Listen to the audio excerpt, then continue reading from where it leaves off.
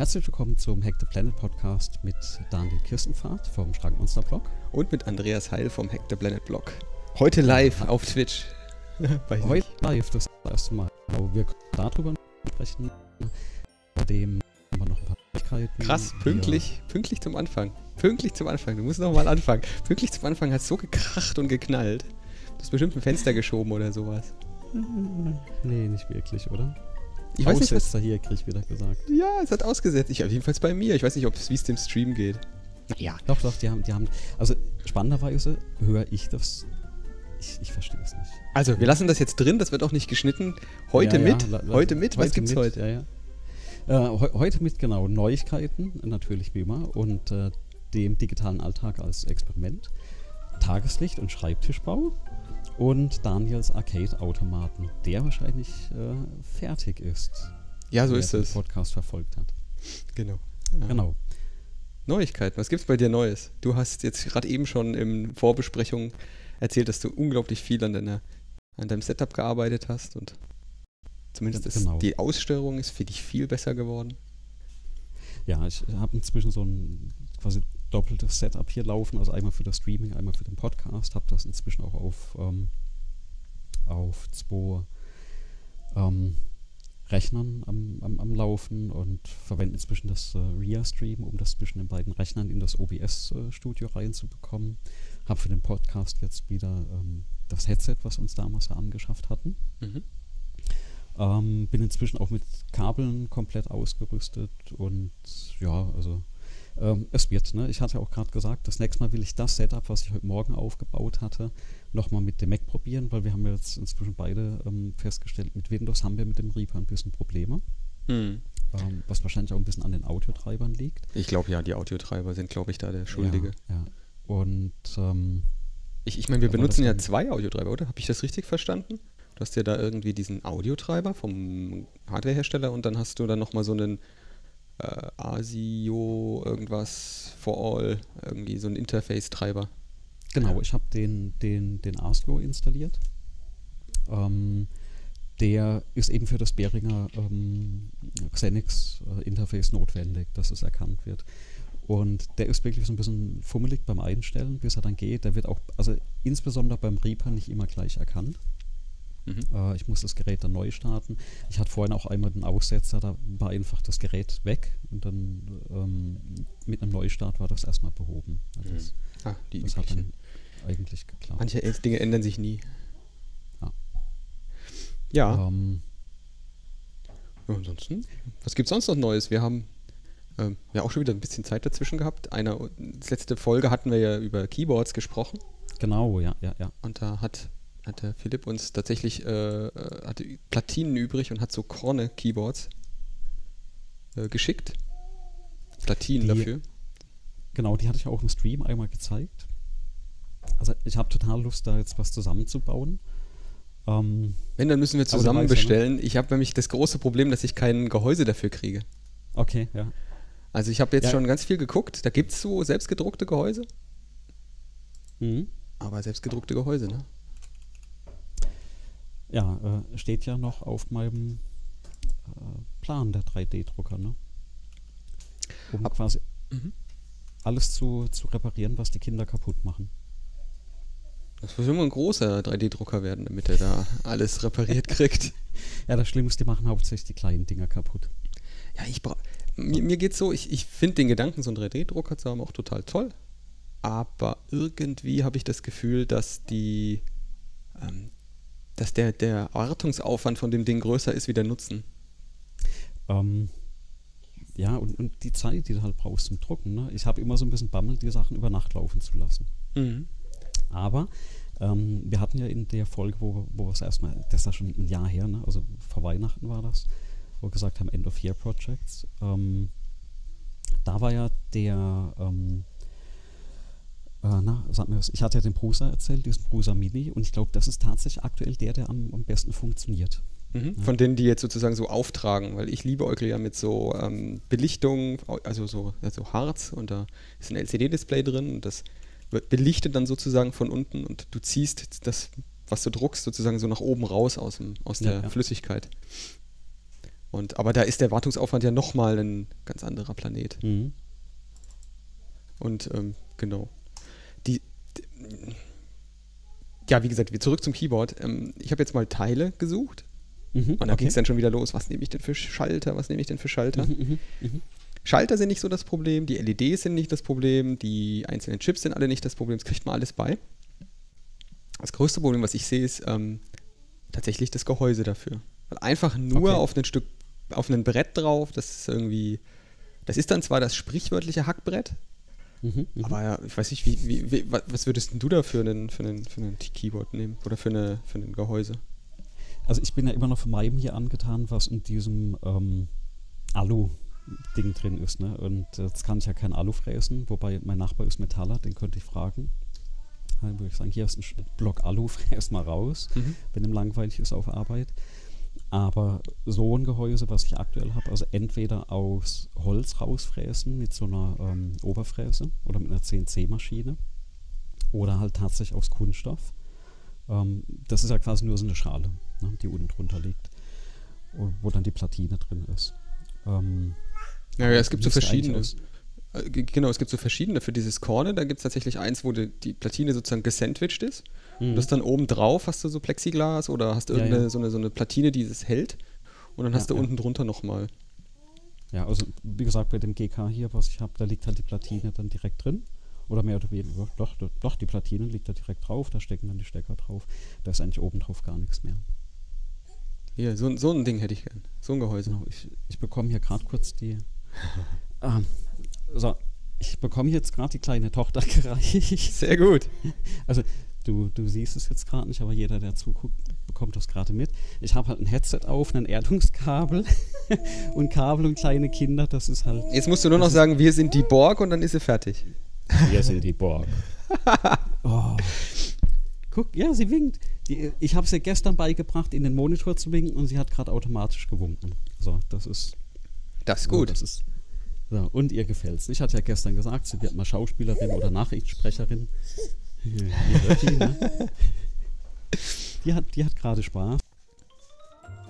Und jetzt hast du das Mikro weg. da. So, jetzt bin ich wieder da. Genau, jetzt muss ich hier wieder das andere Mikro umstellen. Oh mein Gott, ist das ein Stress.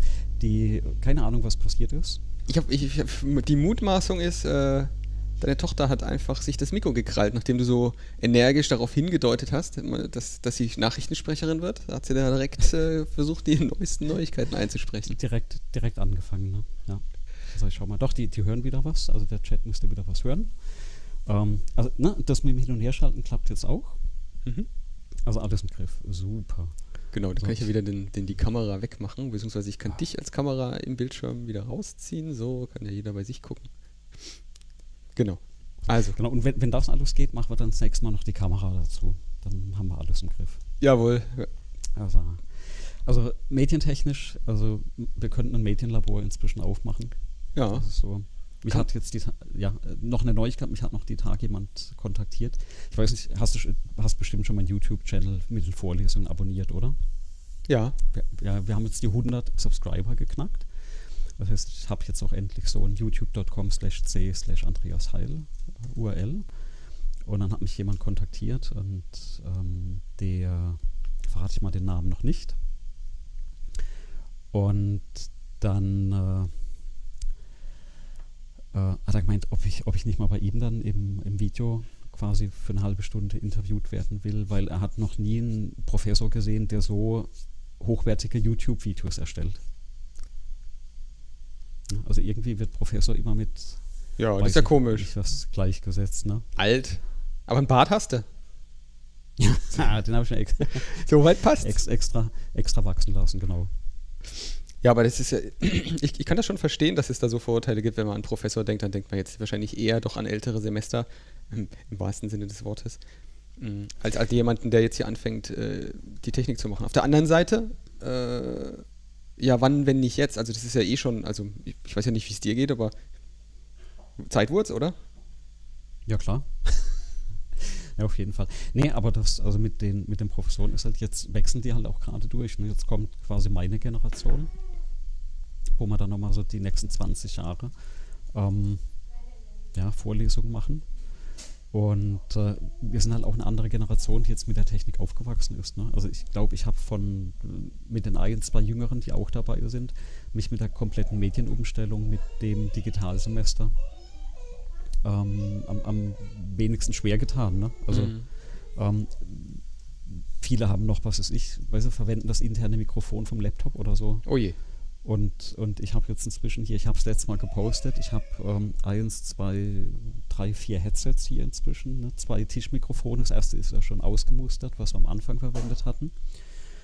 Und ähm, habe jetzt einer Kollegin auch gerade welche empfohlen, da war jetzt wieder eins dabei, wo ich gesagt habe, oh, das würde ich auch gerne mal probieren, ja, aber 170 Euro rauswerfen, nur ein Mikrofon zu probieren, ist ja ähm, nochmal so eine komplett andere Nummer. Ne? Ähm, ich hatte einfach nur Schwein, dass ich mir den, das Laptop gekauft hatte vor zwei Jahren mit der Grafikkarte. Und das lag ja das erste Dreivierteljahr nur rum. Ne? Und mhm. dass ich das wirklich so intensiv dann, dann plötzlich ähm, Medienproduzierender wirst. Ja, ja, ja. Also, ne, also der rechnet auch für die Videos, ne, also sieht sich abends da, schneiden, rechnen etc. Mhm. Das ist schon, schon eine Nummer, ähm, was da läuft. Ich habe mal, ja, also ich habe mal, also weil du sagst hier äh, Professoren Stream oder so, es gibt ja schon seit langem, langem, langem gibt es ja schon, dass Vorlesungen gestreamt werden. Ich habe jetzt genau, mal ja. die, also ich meine aus meiner eigenen ehemaligen Universität äh, TU Ilmenau, da gibt es die Forschungsgemeinschaft Elektronische Medien und die streamen ja auch üblicherweise schon seit ewig. Also ewig heißt hier, also wirklich ewig. Ja, ich ich gucke mal, von wann das ist. Das muss ja 2006. ewig. Und das sind halt Vorlesungen, da hat der Professor halt nichts gemacht. Der hat sich halt vorne mhm. hingestellt ne, und hat in der Vorlesung ähm, in der Vorlesung einfach sich aufzeichnen lassen. Ja, ja. Aber das, wie gesagt, seit 2006 und früher gibt es da Aufzeichnungen von Vorlesungen da drin. Und das ist schon tatsächlich äh, nicht so. Also 2006 bis heute, ne? Wurde Zeit, 2000. Ja. Also mit den, äh, ähm, mit ein paar von, äh, von deinem Verein hatte ich auch da nochmal gesprochen gehabt. Die hatten ja am Anfang, äh, also die, dieses Emergency Remote Teaching da losging, hatten wir so massiv das Problem, dass wir keine Videos nirgends hochladen konnten. Ne? Also ja.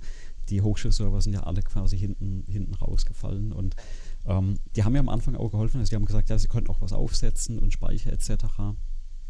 Und ähm, aber ich habe dann auch äh, ein paar richtig gute Tipps bekommen, ne? so einfach so Kleinigkeiten wie, naja, renne halt einfach die FPS runter. Ne? Also gerade bei so einem Vorlesungsvideo, das er eh jetzt nur in 720 ähm, ja. p aufgenommen ist, dann mach halt keine 30 FPS, dann renn das halt runter auf 25. Das tut jetzt nicht weh, wenn du eh nur Slides und vielleicht ein kleines Video siehst.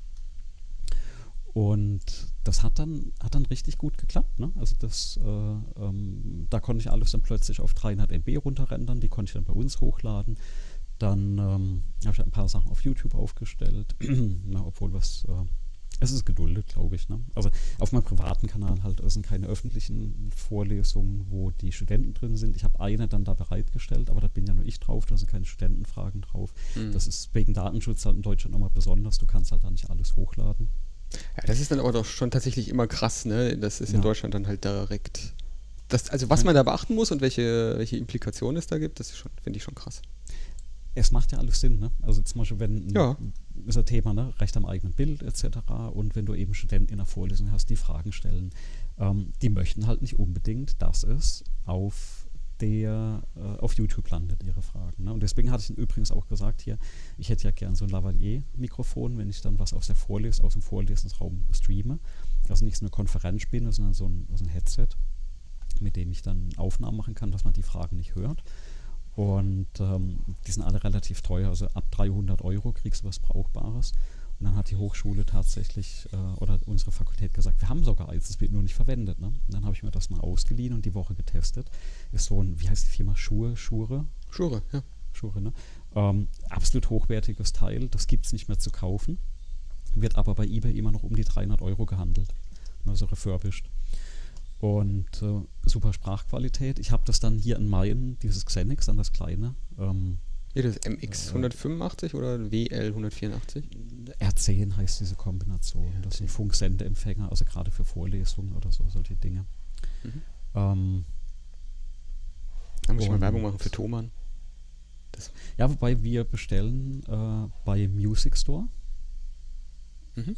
Die schicken uns die besseren Angebote. Ah, muss man. Also, Okay.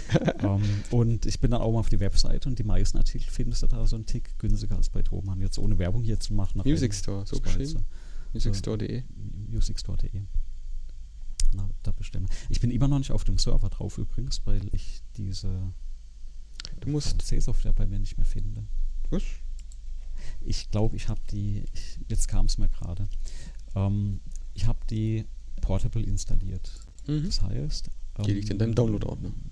Die liegt mal in, nicht im Download-Ordner, aber die liegt irgendwo wahrscheinlich rum. Ja, aber zum Thema selber bauen und, und, und Gehäuse jetzt nochmal zurück zur Tastatur. Tatsächlich dieses Gehäuse, das ist die größte Challenge, die ich sehe. Ich habe da eins gefunden, das ich total toll äh, finde vom Aussehen her. Das ist aber Mhm. auch, auch aus Aluminium und deswegen sehr schwer. Okay. Ähm, und dieses, ähm, ja, es gibt's halt nicht mehr. Die sind überall ausverkauft. Die Mhm. Zeit von diesen Corner-Keyboards, das scheint Ja, mal ja. einmal so eine Hochphase gegeben zu haben, aber es gibt so nicht mehr.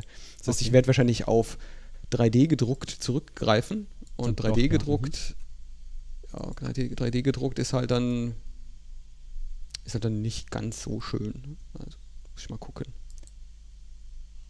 Ja, setzen Sie fort. so. Genau. So, Aber dann nochmal vielen Dank an den Philipp für das, für das Keyboard. Ähm, Ja, nachdem genau, ich jetzt alle meine super. anderen Projekte sozusagen ähm, beendet habe, kommt, die kommen wir nachher noch zu, ähm, werde ich da mich auch mal drum kümmern. Aber da könnten wir ja auch theoretisch ähm, Massenbestellungen, Ge- Sammelbestellungen für uns beide machen. Die, die, äh, die Zeit möchte ich ja gern haben. Ne? Also, das, also, also so, so sehr ich die Kinder genieße, mir geht es momentan ein bisschen ab, dass ich keine Zeit habe, das ganze Zeug zu bauen und zu programmieren. Ähm, aber naja, kommt auch irgendwann wieder. Mhm.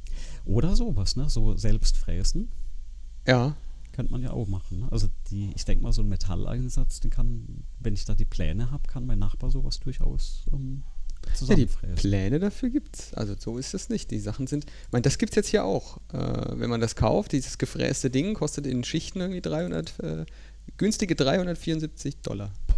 Ja, das ist, das, da ist ja jedes gekaufte Keyboard dagegen. Ja, ich hatte tatsächlich Ähm. jetzt, äh, mir ist eins kaputt gegangen. Ähm, Okay. Das sind die, das ist, das sind festgelötete äh, äh, Mech- äh, äh, MX Blues drauf. Mhm.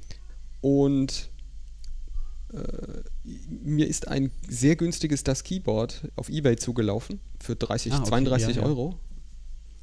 Und da habe ich dann das eine durch das andere ersetzt erstmal, weil das die günstigere Lösung war. Für Mhm. 32 Euro kriege ich nach aktuellem Kenntnisstand nicht die Teile zusammen für das Corner Keyboard. Okay. Also da bist du schon, ich habe mal so ein bisschen rumgerechnet. Ich denke mal, wenn du eins bauen willst, ähm, ohne Gehäuse oder mit dem einfachsten Gehäuse nur, bist du schon so bei so 150 Euro. Mhm. Das ist schon, ist schon ein teures Hobby an der Stelle. Ja, ist schlimm. Also, da hat er was angerichtet, der Philipp. Ne? Mhm. Also wenn er dann das anhört oder, oder zuhört, ähm, ja, ja, nicht gut. Ja, ansonsten, was habe ich noch gemacht? Ich habe ähm, äh, Server umgezogen. Du hast ja, Stimmt, ja. Mhm. hast ja hoffentlich nicht gemerkt. Ähm, ich habe den, den, den, den Server, der unsere, unser, erstmal mein Blog, dann den, das CDN, wo die ganzen Audiodateien Mhm. liegen, Mhm. betreibt, ähm, den habe ich getauscht gegen einen, der ist eigentlich derselbe, hat eine langsamere CPU. Es fällt Mhm, nicht auf, okay. ne? bei den Dingern es ist einfach egal, ob da jetzt 8 äh, 2 Gigahertz Kerne oder 8 2,5 Gigahertz Kerne drin sind, ist ja egal. Mhm. Aber der hat äh, eine, eine SSD. Okay. Und jetzt fragst du, warum ist das wichtig? Ich betreibe einen äh, Overpass-Server für Mhm. mehrere meiner Apps. Und was ist jetzt Overpass? Overpass ist eine, also jeder kennt OpenStreetMap, nehme ich an. Und OpenStreetMap als, als, als Webseite, openstreetmap.org, genau, ähm, ist einfach nur ja, eine Karte der Welt, wo Mhm. man als Teilnehmer, also kann man einfach als Nutzer daran teilnehmen und kann eigene Sachen eintragen und, und eigene Sachen tun und machen. Und ich verwende das tatsächlich auch, um da Abfragen drauf zu fahren, auf, Abfragen drauf zu machen. Und dafür Mhm. ist die Overpass API da. Mhm. Ähm, stell dir das einfach so vor, ähm, Overpass Turbo ist so ein User-Interface, was man nutzen kann. stell dir das einfach so vor, dass das sämtliche Datenbestände, die in OpenStreetMap drin sind, nimmt, das in eine durchsuchbare Form bringt, einen Mhm. Index drüber fährt und dann dir erlaubt, Anfragen draufzustellen. Ja, also du kannst einen beliebigen, äh, du kannst dem Ding eine Bounding-Box, einen Kartenausschnitt übergeben, dann kannst du dann eine Anfrage schreiben als, als Query und dann kannst du die ausführen und dann bekommst du einen Datensatz zurück, in dem Fall Amenity Drinking Water. Wir können ja mal, wir können ja mal Amenity äh, Toilets hinschreiben. Das, Also hast du mal die, die, die äh, iPhone-App gebaut? um Exakt, das benutze ich dafür. Finden, ne? Ja. Genau, und jetzt siehst du hier, ne, diese ganzen Dinger hier, das sind die Ja, ganzen Toiletten, die es jetzt in diesem Kartenausschnitt Ja. gibt. Äh, und eine einfache Anfrage und schon äh, kannst du, kriegst du eine verwertbare Daten raus. Mhm. Und weil ich nicht die öffentlichen Server mit, meinem, mit meiner App da irgendwie äh, stressen will, habe ich einen eigenen Server Mhm. aufgesetzt. Und der hat einfach eine, einmal die ganze Welt gespiegelt, die ganze OpenStreetMap-Welt. Und da läuft auch so ein Overpass-Server, der aktualisiert sich dann irgendwie alle, äh, ich glaube, alle, alle Minute gibt es einen Diff Mhm. und alle Minute wird die Welt einmal geupdatet. Ähm, weil du gerade von OpenStreetMap Map erzählst, hast du den, also hast du mitbekommen, dass der, der Flugsimulator gerade rauskam, ne? Der, Ja. Also momentan streamen ja alle den neuen Flight Simulator. Und alle sind ja so begeistert vom Wetter und ich frage mich stand heute, wie viel in der aktuellen Simulation von meinem damaligen Patent drin ist, was ich bei Microsoft geschrieben hatte. Weil wir hatten ja extra was geschrieben für die, für die Wettersimulation. Ja, das wirst du doch Ähm, wissen. Denn, denn, Ich, ich weiß nicht, also das Studio wurde ja damals zugemacht und die haben eigentlich jetzt das programmiert, was wir vor zehn Jahren programmieren wollten oder anfangen wollten. Das kam ja lange kein, kein neuer Flugsimulator raus. Und mir wurde aber ein Link zugespielt, was phänomenal war. Und zwar gab es bei den OpenStreetMap irgendwie einen, einen Tippfehler von einem Gebäude, was zwei Stockwerke hoch ist. ah ja, in, in äh, Australien. Und das ist gefixt, also wurde relativ schnell gefixt, aber als sich Microsoft die Daten gezogen hat, waren das eben noch, weiß nicht, 2000 Stockwerke oder so oder 200. Ja. Auf jeden Fall hast du da so einen fetten Monolith dann in dem, in dem Spiel drin. Ne? Mhm. Ja, das ist, das, äh, ich, ich, glaub- ich glaube ja, das haben sie bestimmt auch absichtlich vielleicht drin gelassen. Das ist dem bestimmt aufgefallen und haben sie sich Ich gedacht. weiß nicht, ich, ich weiß nicht, ob du das, also da, da machst du keine QRs mehr, ne? du fliegst das Ding ja nicht komplett ab. Also Ja, wobei das ist doch etwas, was ein automatischer Ahnung. Fall irgendwie, also wenn da jetzt ein Gebäude ist, was so überdurchschnittlich über alle hinausragt, das ist doch ein einfach zu programmierender Standardtest, oder? wenn du den Test geschrieben hast. Wenn du ja, den Test. Ich glaube, den gibt es jetzt. Wa- Wahrscheinlich gibt es da jetzt bestimmten Test, der so statistische äh, Ausreißer ähm, irgendwie testet und überwacht. Ich habe übrigens Copy-Paste Ja. ganz gemacht in der, in der VNC da, in der Mhm. Session. Das heißt, Copy-Paste müsste jetzt funktionieren. Ah, okay. Super. Ich kann ja dann nebenbei nochmal den Link, ähm, den hatte ich auch in einem Discord drin. Mhm. Ich suche den mal raus, ob ich den vielleicht finde wieder. Genau. Auf jeden Fall, also wa- warum, warum habe ich das jetzt erzählt? Ich, warum habe ich den Mhm. Server da jetzt neu gemacht? Der, mein alter Server hatte keine SSD. Und ähm, was schätzt du, wie groß ist die ganze Welt so? Mit allen Daten, mit allen Toiletten und allen Kreuzungen, allen Ampeln, allen Straßenschildern? Das Problem ist, was ich jetzt sage, ist falsch, aber ich hatte es mal gelesen vor einer Weile. Das war gar nicht so, das war gar nicht so groß. Weil ich glaube, diese, die OpenStreet-Geschichte stand nämlich auch in dem Artikel von, ähm, von dem Flugsimulator drin. Ich weiß nicht mehr. Es waren nur ein paar Gigabyte, kann das sein? Mhm. Mhm. Meinst du, bisschen. Gigabyte? Mehr? 460 Gigabyte ist jetzt aktuell und es, okay. es, es, wächst auch zunehmend. Ja, aber das geht noch. Das ist, was ich aktuell im laufenden Semester an Streaming-Aufnahmen habe. Ja, es, 500 Aber- Gigabyte sind als SSD in einem Server halt auch nicht so günstig. Ja, ja, klar. Also habe ich jetzt eine, äh, eine Terabyte, ein bisschen Platz Ja. habe ich.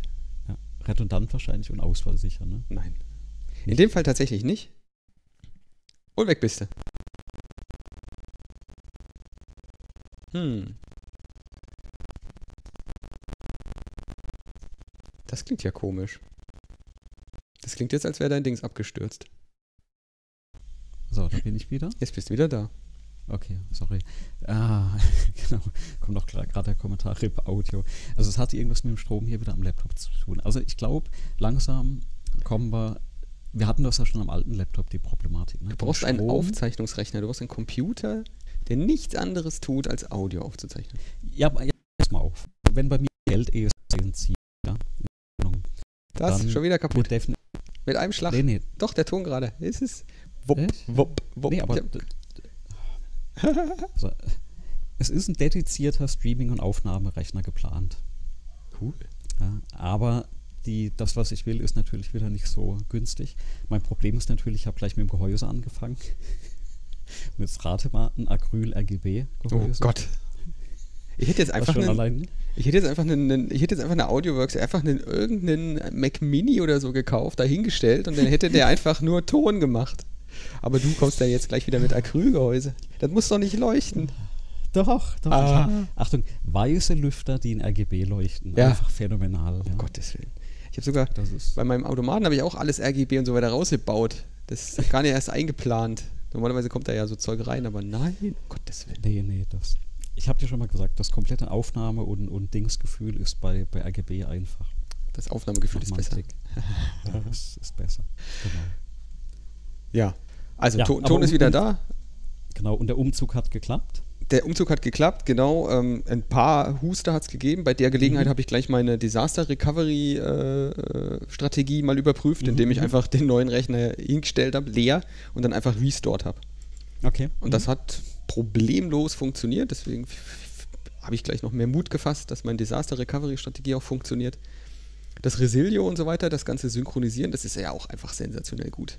Mhm. Da gibt es allerdings Ja. einen, äh, da gibt es was, ist mir aufgefallen, gibt es in der äh, Resilio Sync Docker, da gibt es in der Beschreibung ist ein Fehler, Mhm.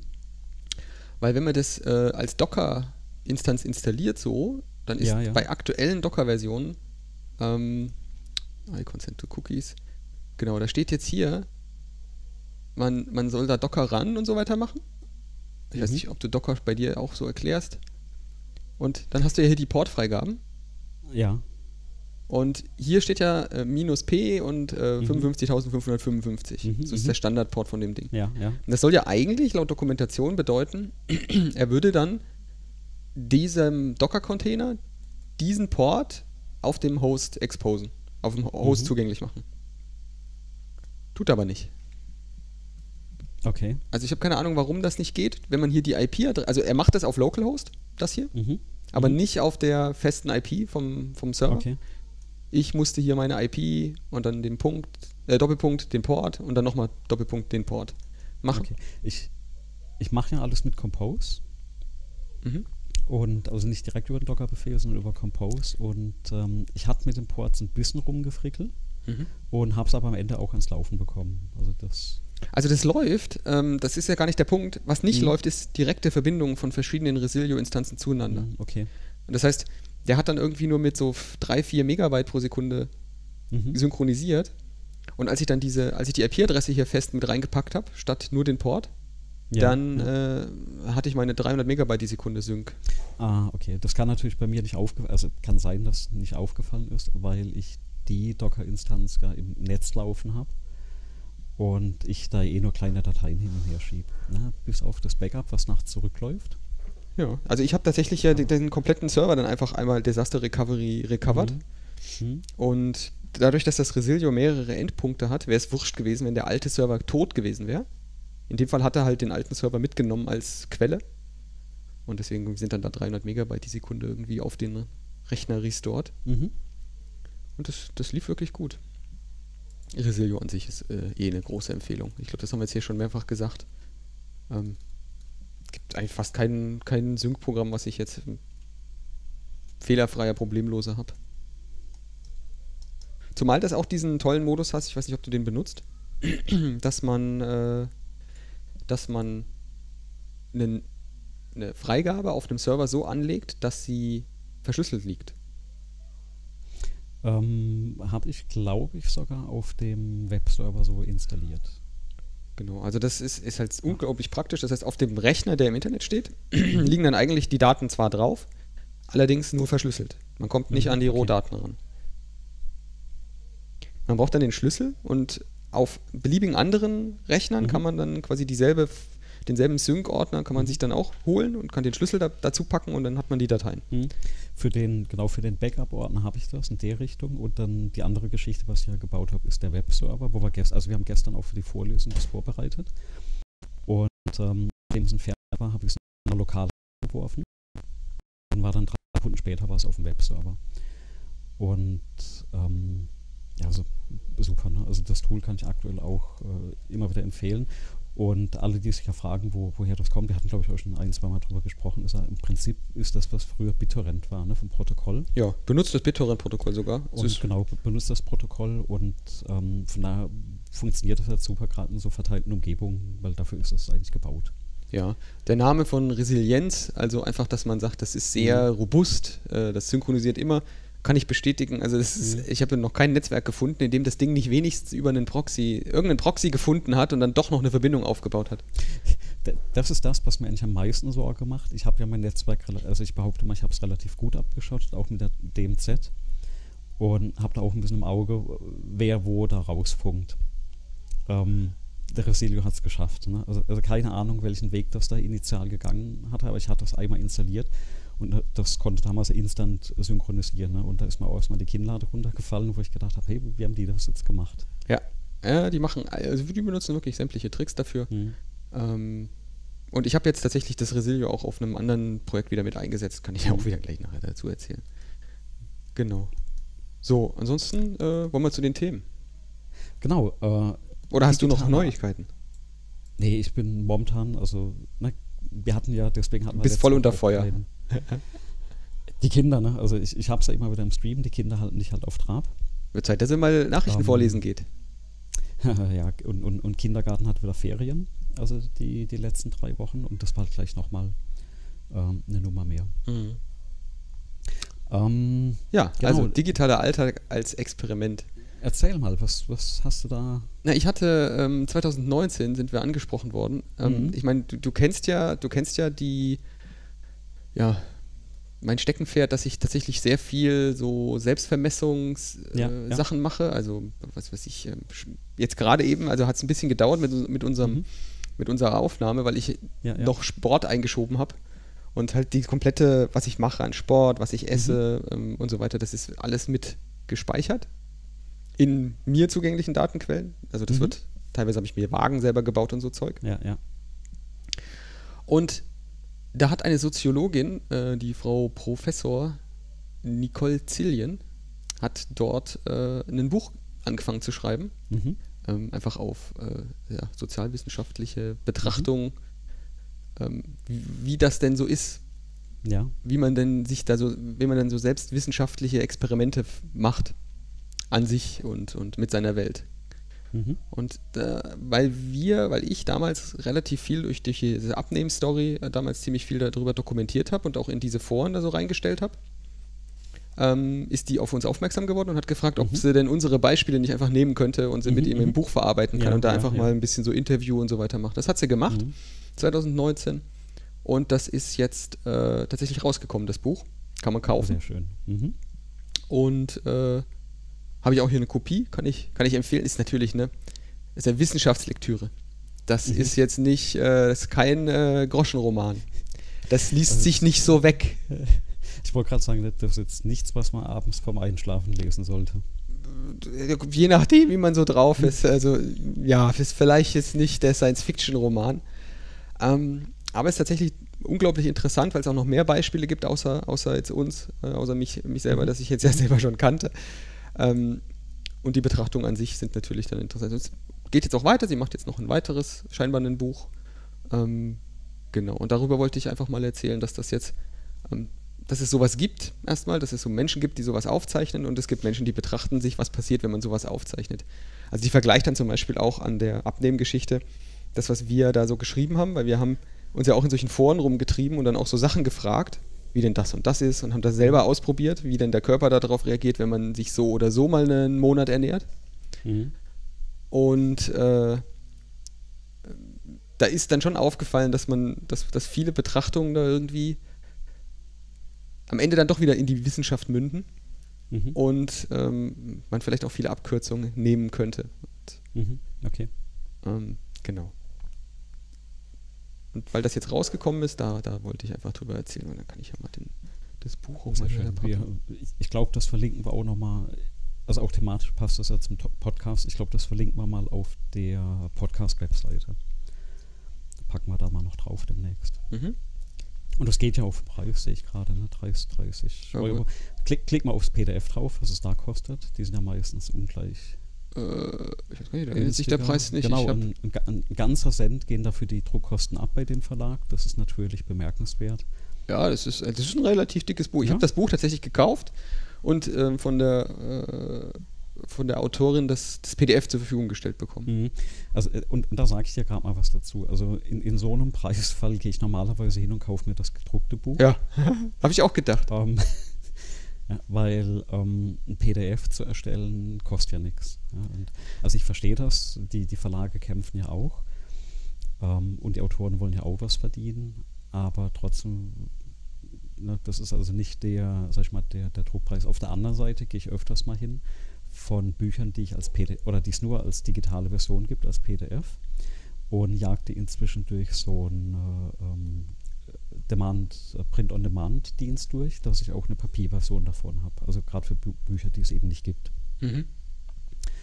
Ähm, weil ich bin dann doch jemand, der gerne mal in Bücher was reinschreibt oder reinmalt. Ich hatte es auch gestern erzählt im, im Stream, ähm, dass du eigentlich meine Bücher in der Regel nicht wiederverkaufen kannst, also die, die wenigsten, Mhm. weil das halt Arbeitsgegenstände sind für mich. Ne? Da wird reingeschrieben und markiert und Notizen reingeschrieben, Post-its reingeklebt. Also tatsächlich habe ich eigentlich ganz gern eine gedruckte Variante. Mhm. Also ich habe jetzt hier nur das Buch deswegen gekauft, weil ähm, ich es Leuten in die Hand drücken kann, die das interessiert. Und ich habe Ja, ja, einige, klar. die das interessiert, interessiert hat und dann habe ich das jetzt einfach zum Verleihen. Es ist praktischer als eine PDF-Datei. Mhm. Ja, klar. Nee, sehr schön. Also verlinken wir auf jeden Fall. Mhm. Ähm, und werde ich mir auch mal dann antun, die, die nächste Zeit. Genau. Ich werde dir mal schreiben, ob ich ein Rezessionsexemplar bekomme. Na, du hast jetzt, ich kann dir das Buch, ich kann dir das Buch schicken. Kann ich dir leihen, kein Problem. Das gedruckte. Ja, ich, ich kann die aber auch fragen, ob ich ein Rezessionsexemplar für die Vorlesung bekomme. Ach so, das kannst du natürlich auch machen. Ja, das ist also einer der, der, äh, der Vorteile als Dozent. Du kannst ja immer mal fragen, ob es ein, ob's ein Rezessionsexemplar gibt, wenn man Teile davon in, in Vorlesungen einsetzen möchte. Mhm. So, bevor ich jetzt hier mein Thema mit dem, mit dem, Mhm. mit der Beleuchtung angehe, weil das interessiert mich, wie du das gelöst hast, will ich wissen, Ja, wie ja. dein, dein, das letzte, eines der letzten Podcasts haben wir beide Ja. mal ähm, über deinen äh, Schreibtischbau äh, und dann habe ich Fotos Ja, ja, ja, gesehen, die- du hast es dann gestrichen. Ja, was ist denn jetzt hier? Der, der Blog-Eintrag fehlt noch tatsächlich. Also, ähm, Du Ich hab musst ja ja keinen Blog-Eintrag machen. ne? Zeig's uns, Ja, zeig's. wie soll ich Erzähl. dir das zeigen? Nein, erzähl, erzähl. Also ich habe einen höhenverstellbaren Schreibtisch. Ähm, der ist eigentlich auch aus Einzelteilen zusammengebaut. Also Anfang von der Corona-Krise hatte ich äh, von einem Bekannten noch den Tipp bekommen, weil ich auch gesagt habe, ich habe öfters mal die, den Nachwuchs in der Trage drin ne, und am Schreibtisch so meinte er, er hofft, ich habe einen Stehtisch. Ich sage, nee, habe ich nicht. Meinte er, besorgt dir einen. Habe ich mal zum Gestell bestellt und dann noch eine richtige Schreibtischplatte, also eine, ähm, also wirklich im Büro, also keine Ikea-Platte dann. Die hatten früher richtig gut, da hatte ich jetzt nichts gefunden. Dann bin ich mal in so einen Online-Shop für Bürozubehör äh, und dann habe ich so eine Schreibtischplatte, die wiegt auch ein paar Kilo, Mhm. aus, die ist so Epo Epoxidharz beschichtet, also wie man das aus einem Büro auch kennt. Ne? Das heißt, da kann man drauf kratzen und schreiben, die kannst du abwischen, die geht nicht so schnell kaputt. Und ähm, dann habe ich mir auch so ähm, die, die so Rohre, wo man so ähm, Gestelle quasi baut, ähm, kennst du vielleicht von Anzeigen, wo, manchmal solche Riesenbanner drin sind. So Traversen? Oder, oder Traversen, genau. Und dann habe ich mir so eine kleine Menge bestellt und habe da so ein 60 Zentimeter hoch und 1,20 Meter breit eine kleine Traverse mit drei senkrechten ähm, Pfeilen, äh, Pfeilern gebaut. Und da ist jetzt quasi Monitor dann mit einer Weserhalterung dran. Das Laptop ist mit einer Weserhalterung dran. Ähm, die Kamera ist da oben dran geschraubt. Alles dann mit so ähm, Stativklemmen, die man aus der Fotografie kennt. Und das letzte, was wir jetzt noch rangebaut hatten, war einmal so ein Elgato Keylight. Mhm. Das leuchtet quasi von der einen Seite und auf der anderen Seite ist eine äh, Philips Ruhelampe, eine ganz normalen Schreibtischlampe, die leuchtet so ein bisschen nach oben und damit bekomme ich das eigentlich aktuell ganz gut ausgeleuchtet, vor allem weil mein Schreibtisch eben direkt an dem Fenster steht. Da ist Mhm. ein Plissé dran, das heißt das Licht ist eher diffus, aber ähm, das sieht man manchmal auch bei den, bei den Videoaufnahmen dann, wenn die Sonne auf, also so Wolken vorbeiziehen, dass sich dann halt die Lichtverhältnisse ändern und das kriege ich mit den beiden Lampen ganz gut ausgesteuert. Die Elgato-Lampe hat so ein bisschen das Problem, dass die eben nur weiß oder warmweißes Licht kann. Also da kannst du eben nur dazwischen hin und her ähm, schalten. Mhm. Und deswegen habe ich eben als Ausgleich nochmal diese Philips, das ist dann auch so eine RGB-Lampe. Ne? Also abends mache ich da immer so äh, schickes buntes Licht an, aber wenn es so von der Tagesbeleuchtung nicht ganz äh, passt, dann kann ich da eben entsprechend eine, eine andere Farbe auswählen. Also gerade wenn es mit dem Greenscreen hinten dran nicht passt und das grüne Licht dann zu sehr ähm, reflektiert. Ne? Ich hatte letztes hat man eine Streamaufnahme, da konnte man durch meine Stirn durchschauen, mhm. weil äh, die quasi die Stirn dann so, so grün geleuchtet hatte durch die Reflexion. Und äh, das kriegst du dann halt mit der zweiten Lampe dann halbwegs ausgesteuert. Da habe ich mir jetzt überlegt, ich mache über die ähm, über die, die Lampe noch eine so wie eine Milchglasscheibe, vielleicht aus Plexiglas, wenn ich da was finde, mhm. dass es auch mal ein bisschen diffuser ist, das Licht. Ja. ja. du hast ja das Glück, dass du keine Brille auf hast. Dann ist ja. mit dem Licht bist du ein bisschen flexibler. Ja, Wenn du eine, genau. Also ich habe eine Brille auf und da ist das mit Licht, mhm. äh, Gegenlicht immer so eine Sache. Da siehst du dann eigentlich nur noch irgendwelche großen Ringaugen oder sowas. Mhm. Ja, das, das stimmt natürlich. Ne? Aber also da ist vielleicht die, also dieses Elgato ganz gut, weil das ist so, innen drin stecken da 80 LEDs von Osram und dann hat die oben drüber so eine Scheibe. Mhm. Ähm, das ah, das ist so eine richtige Platte, ne? Das ist eine richtige Platte, wie man das aus der ah. Fotografie ähm, äh, äh, kennt. Äh, alternativ kriegt man aber auch für 30 Euro gibt es so diese, ähm, also die, diese Lichtboxen aus der Foto, wirklich aus der Fotografie, die sind halt ungleich größer. Aber damit bekommst du dann auch so diffuses Licht hin und dann, dann passt das eigentlich ganz gut. Also ich gucke jetzt gerade das Bild im, im Stream an, also es geht eigentlich recht gut. Wobei ähm, die, doch die Seite, wo sie hell ist, das ist halt die, das Fenster, ja, was reinleuchtet. Mhm. Ja. Nee, also das, das ist da die Ausleuchtung. Vielleicht tausche ich das mal noch aus in so ein Keylight Air von Elgato, die, die RGB-Lampe. Das mache ich aber alles erst, wenn der Schreibtisch umgezogen ist. Ja, ich muss das alles ja nochmal dann wahrscheinlich in einem Jahr wenn der Umzug ins neue Büro ansteht, abbauen und nochmal alles aufbauen. Und ist das dann, ist das dann ganz anders geschnitten? Also wie hast du denn dann da die, die Lichtverhältnisse? Das wird komplett anders sein. Da habe ich Beleuchtung dann von zwei Seiten und ich kann halt auswählen, wo der Schreibtisch steht. Also momentan steht halt der Schreibtisch in einer Galerie ähm, bei uns im, im, im Obergeschoss ähm, weil es eben wegen Kinderzimmer etc. ein bisschen Umzug gab. Und es war ja eigentlich nicht niemals geplant, wie wahrscheinlich bei vielen, vielen Menschen, dass man äh, sechs Monate oder in meinem Fall auch zwölf Monate ähm, fünf Tage die Woche von zu Hause Vorlesen hält. Ne? Mhm. Das ist ja alles so aus der, äh, aus der Not geboren und habe halt versucht, also, was sind das bei mir? Das sind zwei Quadratmeter, wo man da, wo ich da bin. Also da ist quasi vor mir die Wand. Da möchte ich noch so ähm, nicht diese Schallschluck-Schaumstoff-Gedöns-Dinger hin. Molton? Nee. Also die gibt es so, so Eierkarton-mäßig. Und dann mir ist halt dann direkt nach 1,50 Meter schon der Greenscreen, weil dann auch ab da quasi Sportgeräte und äh, ein Teil vom Nähzimmer von der, von der Frau dann anfangen. Ne? Das heißt, ich habe mich hier quasi aktuell nur so vorübergehend einquartiert, bis es dann halt wieder in ein neues Büro das Oder Homeoffice. Ne? So ja, das wird vielen so gehen, dass da jetzt die Situation sich Reingeht. vielleicht ein bisschen so ändert in der, in der, Wohn ja. in der Wohnung oder im Haus, dass man jetzt überlegt, wie man das jetzt organisiert. Habe ich das Glück, da dass ich das schon immer mit einem eigenen Raum gelöst hatte. Genau, da gab es gerade auch äh, auf, glaube ich, Golem war das ein Artikel, dass Panasonic jetzt so ein Home Office Cubicle ja.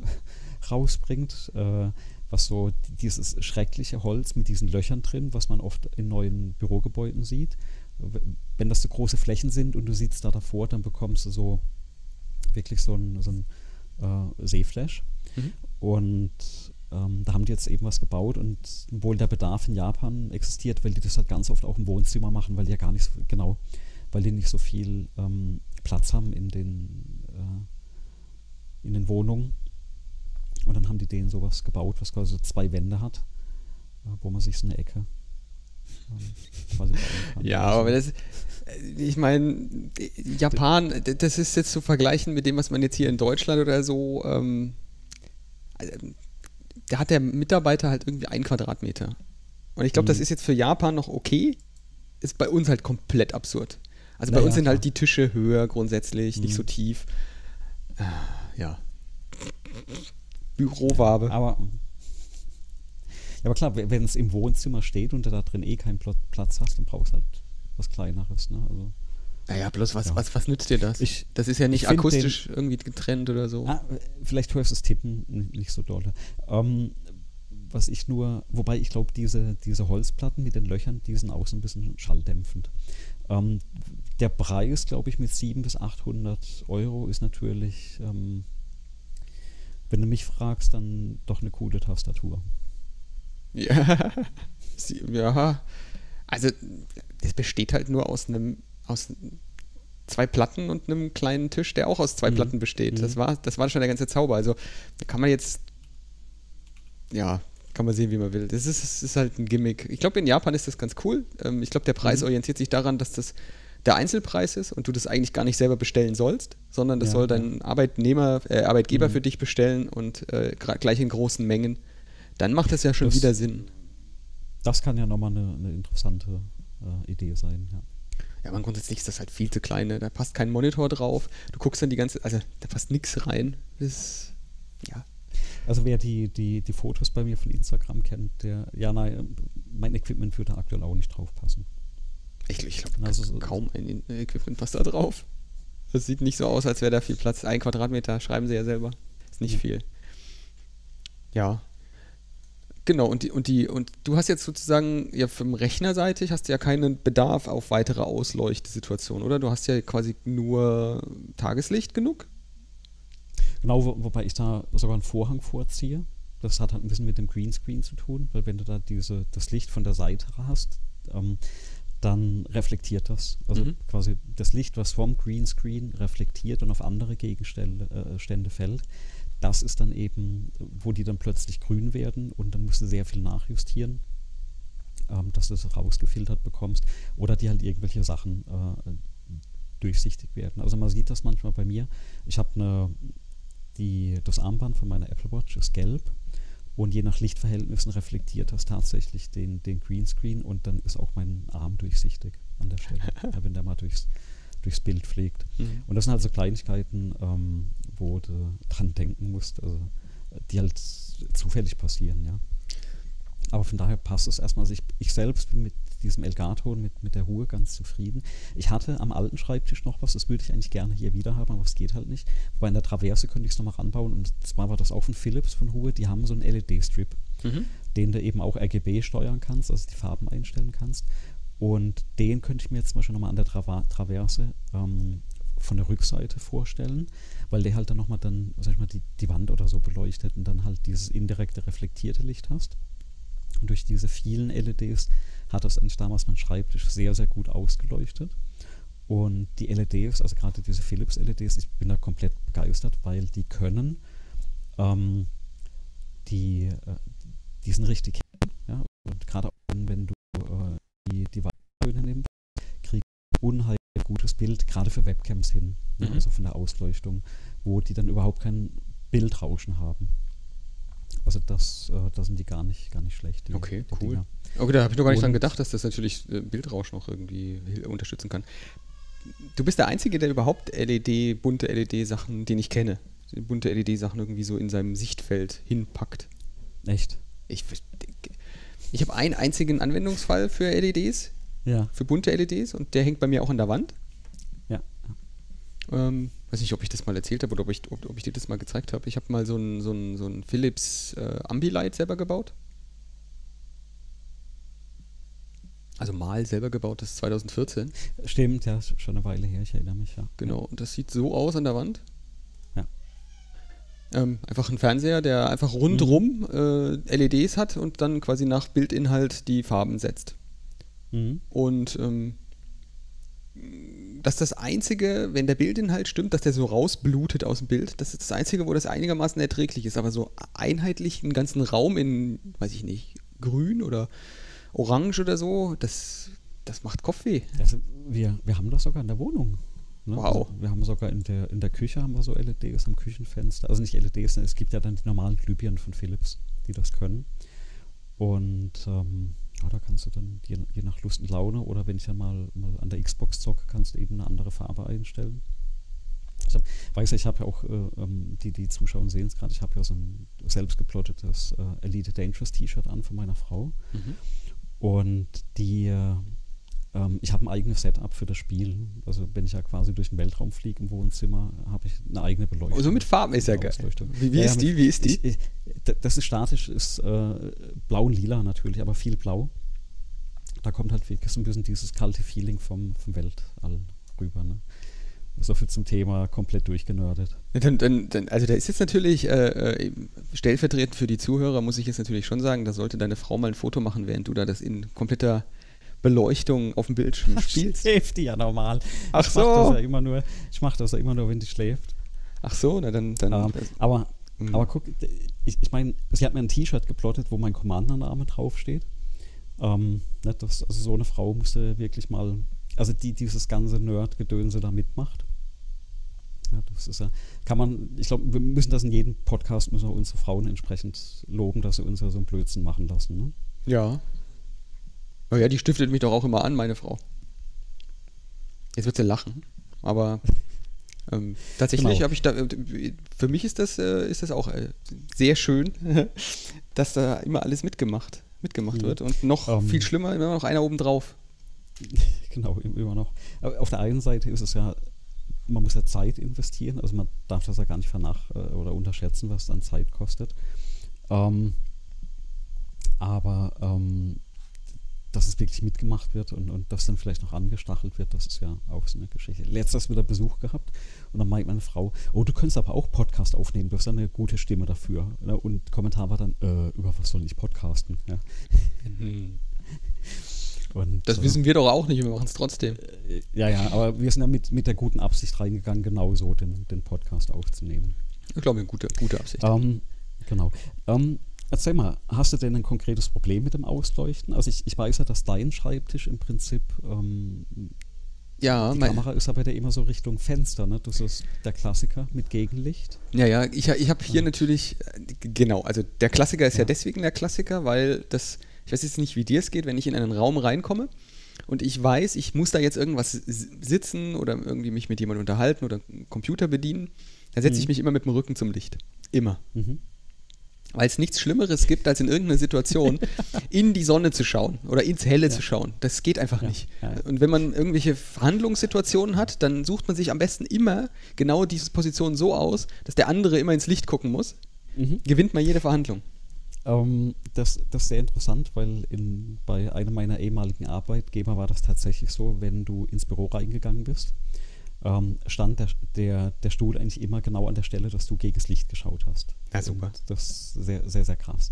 Und äh, was ich dann immer gemacht hatte, ist, ich habe den Stuhl genommen und weil das aus einem halbrunder Tisch war und habe mich immer erstmal auf die andere Seite gerollt. Dann saß ich zwar halb hinter Monitor, ja, aber ich habe nicht mehr ins Licht reingeschaut. Mhm. Das, ja, das geht auch nicht. Also, nee. Aber es gibt ja nicht nur das Problem zu viel Tageslicht, so wie du, ja, wie wir ja. gerade drauf sind, sondern es gibt ja das umgekehrte Problem auch zu wenig Tageslicht. Ja, und jetzt haben wir es ja bald wieder. Es ist, die Tage werden wieder kürzer. Mhm.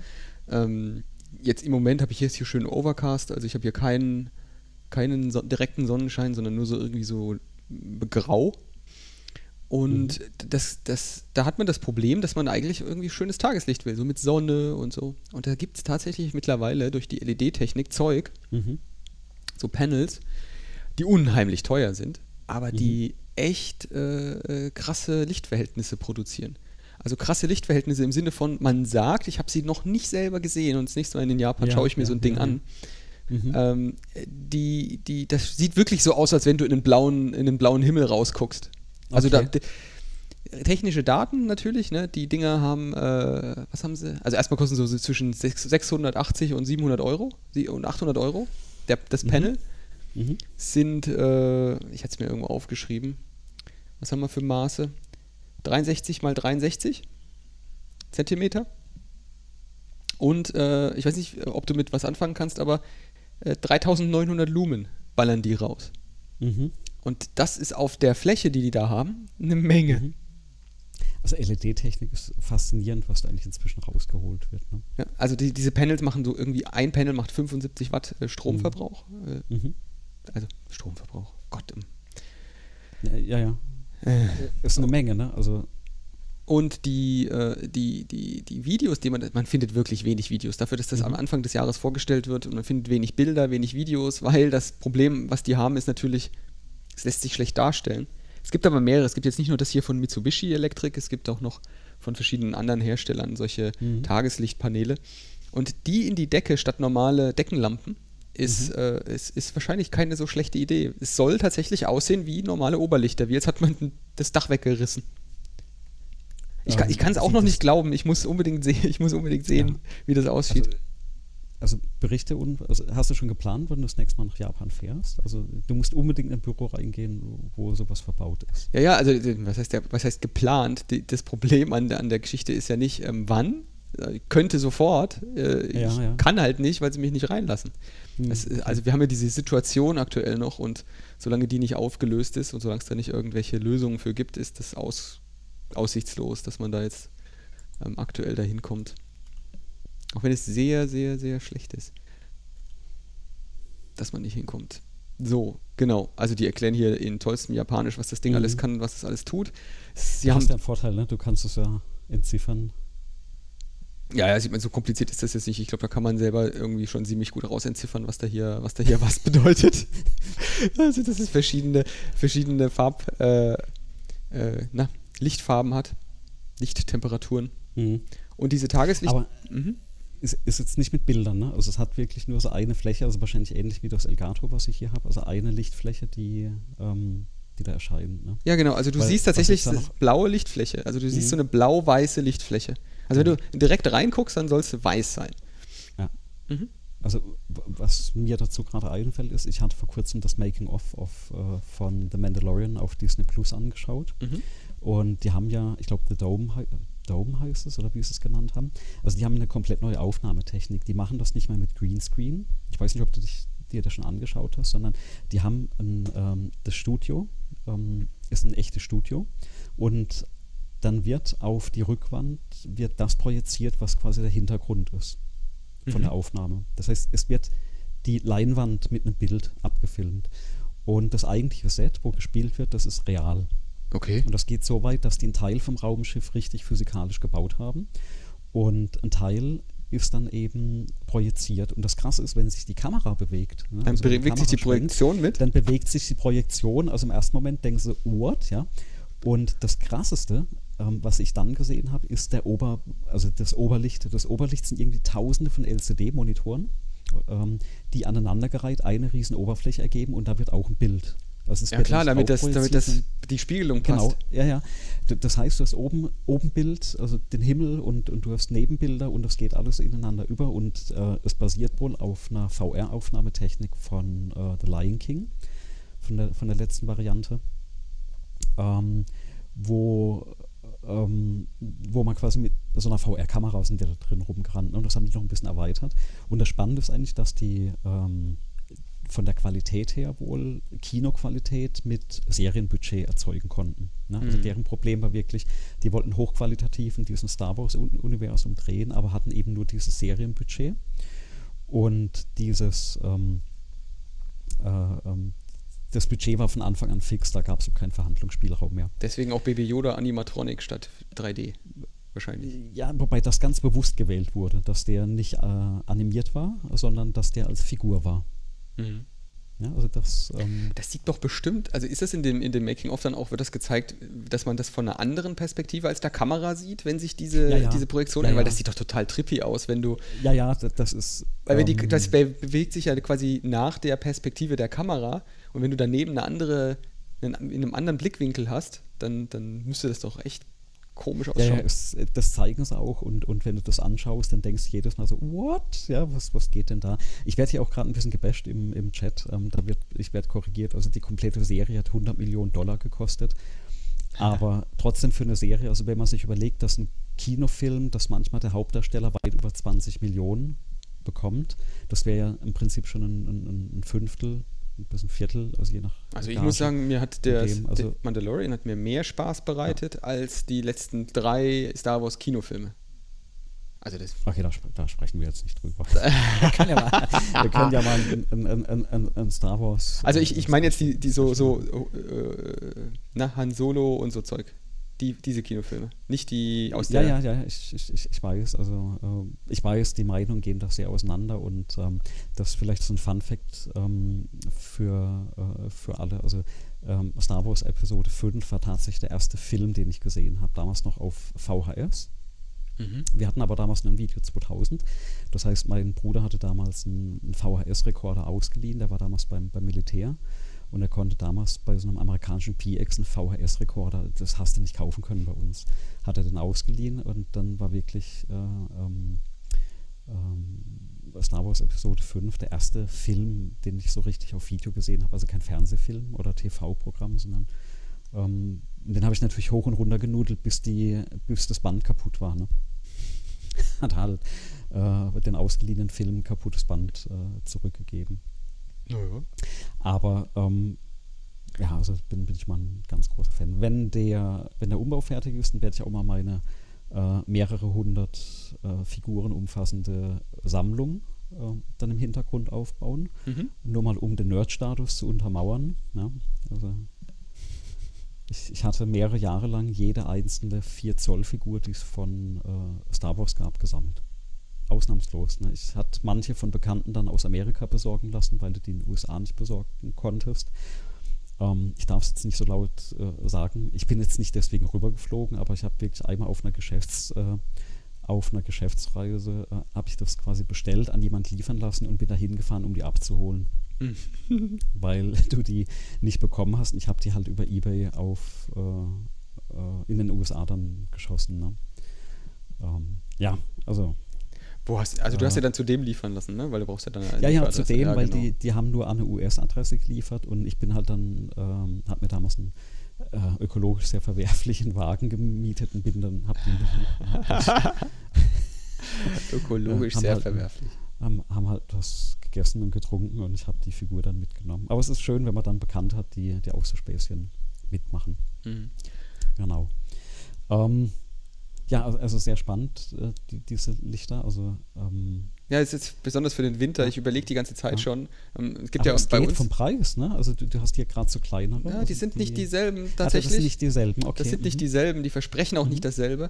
Ja, ähm, haben eine andere, äh, andere ähm, Leistungsaufnahme. Also mhm. ist mal fast die Hälfte nur, wie, wie die japanischen. Also da muss schon auch irgendwie mehr drin sein. Die haben weniger ähm, Lichtstrom Sie haben mhm. weniger Leistungsaufnahme. Ähm, man kann sie nicht verstellen, sie sind nur einfarbig sozusagen. Du kannst sie nicht zwischen äh, ja, so ja. Tag und Tageszeiten verstellen.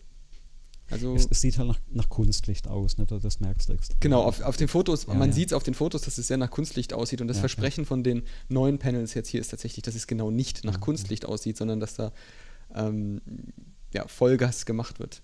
Hm. Dass das also ich, ich, will, ich will mal versuchen demnächst, ob ich mit den beiden Lichter, die ich hier habe, also die beiden Lampen, ob ich damit so eine von der von der Farbenwärme, äh, ja, von der, von der Farbwärme, oder wie heißt das? Doch Wärme, ne? Naja, Dass also für, für dich als Ton von, von mhm. der normalen Sonnenstrahlung halt hinbekomme, ne? Mhm. Ich suche schon die ganze Zeit hier auf dem Ding den CRI davon, weil ja. das ist ja die, das, was man bei LEDs mhm. oder bei solchen Leuchtstoffröhren, Lampen generell annimmt, den den Farbtemperatur bekomme ich gerade. Reproduction gesagt. Index. Farbtemperatur. Ja. ja. die Farbtemperatur ist erstmal nur, wie, wie die leuchtet. Das heißt, mhm. doch, soweit ich verstehe, nicht. Also, Farbtemperatur ist ja. Genau, Farbwiedergabeindex ist die, richtig, die mhm. wichtige Zahl. Das heißt, wie viel ah, Spektrum okay, ist, ist drin im Licht? Mhm, okay. Oder besteht dein Spektrum nur aus der einen Farbtemperatur, also nur aus der einen. Äh mir, mir, mir fällt noch was ein. Es fehlt nämlich noch was an meinem Schreibtisch. Und zwar eine, also ich brauche nochmal so eine Schreibtischlampenhalterung. Und da kommt dann, es gibt ja inzwischen LED-UV-Lampen, ne, also Schwarzlichtlampen. Mhm. Das gab es ja früher, wer das noch kennt, als Neonröhren. Und das gibt es inzwischen als LED. Kosten so 10 Euro ungefähr. Auf jeden Fall kommt da noch eine an den Schreibtisch. Oh Gott. Ich habe die, die, na, pass auf, ich habe die Traverse in weiß gestrichen mit diesen farbigen Akzenten, ja. Und das ist ähm, also echte Sprüher, also Graffiti-Farbe habe ich mir da gegönnt, qualitativ hochwertige Farbe. Und diese Akzente sind ja mit einer UV-Farbe gesprüht. Das heißt, mit einem UV-Licht leuchten die auch Die leuchten. ohne meine RGB-Beleuchtung. In, in, welcher, in welcher Farbe leuchten sie dann? Äh, rosa und lila, das sind Lila, so diese? Ja. die, die Farben, die ich habe. Ja, ja, kennst du inzwischen meinen 80er Jahre.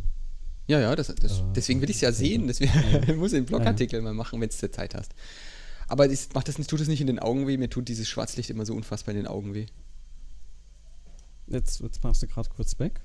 Ja, dein Internet war kurz weg, oder? Nee? Oder Mein Internet, Oder nein, nein. dein Internet? Mein Internet ist ja egal.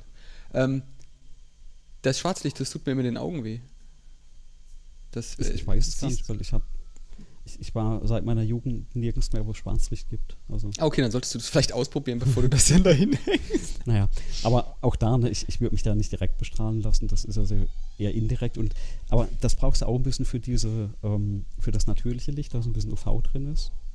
Mal gucken, was wir da hinbekommen. Also das ist ja noch Work in Progress. Ähm, ich bin. Ich, ich bin dabei. Ne? Ähm, den Blog-Eintrag gibt es noch. Ich wurde ja die Tage auch mal wieder gefragt danach. Ähm, Fotos habe ich inzwischen alle mal so rausgekramt. Bin nochmal am Schreibtisch aufräumen, dass wir da ein Bild machen und dann, äh, dann gibt es da den Eintrag. Genau. Ja, vor dem Umzug musst du noch machen, damit du nachher, vorher, nachher hast. Ja, ja, vor dem Umzug, das dauert ja noch eine Weile und ähm, da machen wir auf jeden Fall das Bild. Mhm.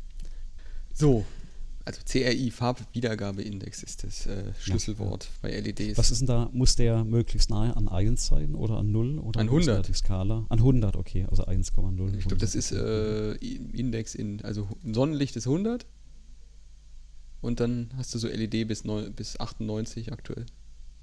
So das Höchste, was es so an Mhm. künstlichem Licht gibt. Na, ja. Ich, ich bekomme hier gerade einen, einen super Hinweis. Also ich soll aufpassen, dass ich nicht zu viel bastel, sonst kommt am Ende noch ein Produkt raus. Ähm, warum nicht? Ne? So ein cooler Schreibtisch, den du dann nachher Ja. verkaufen kannst. Ne?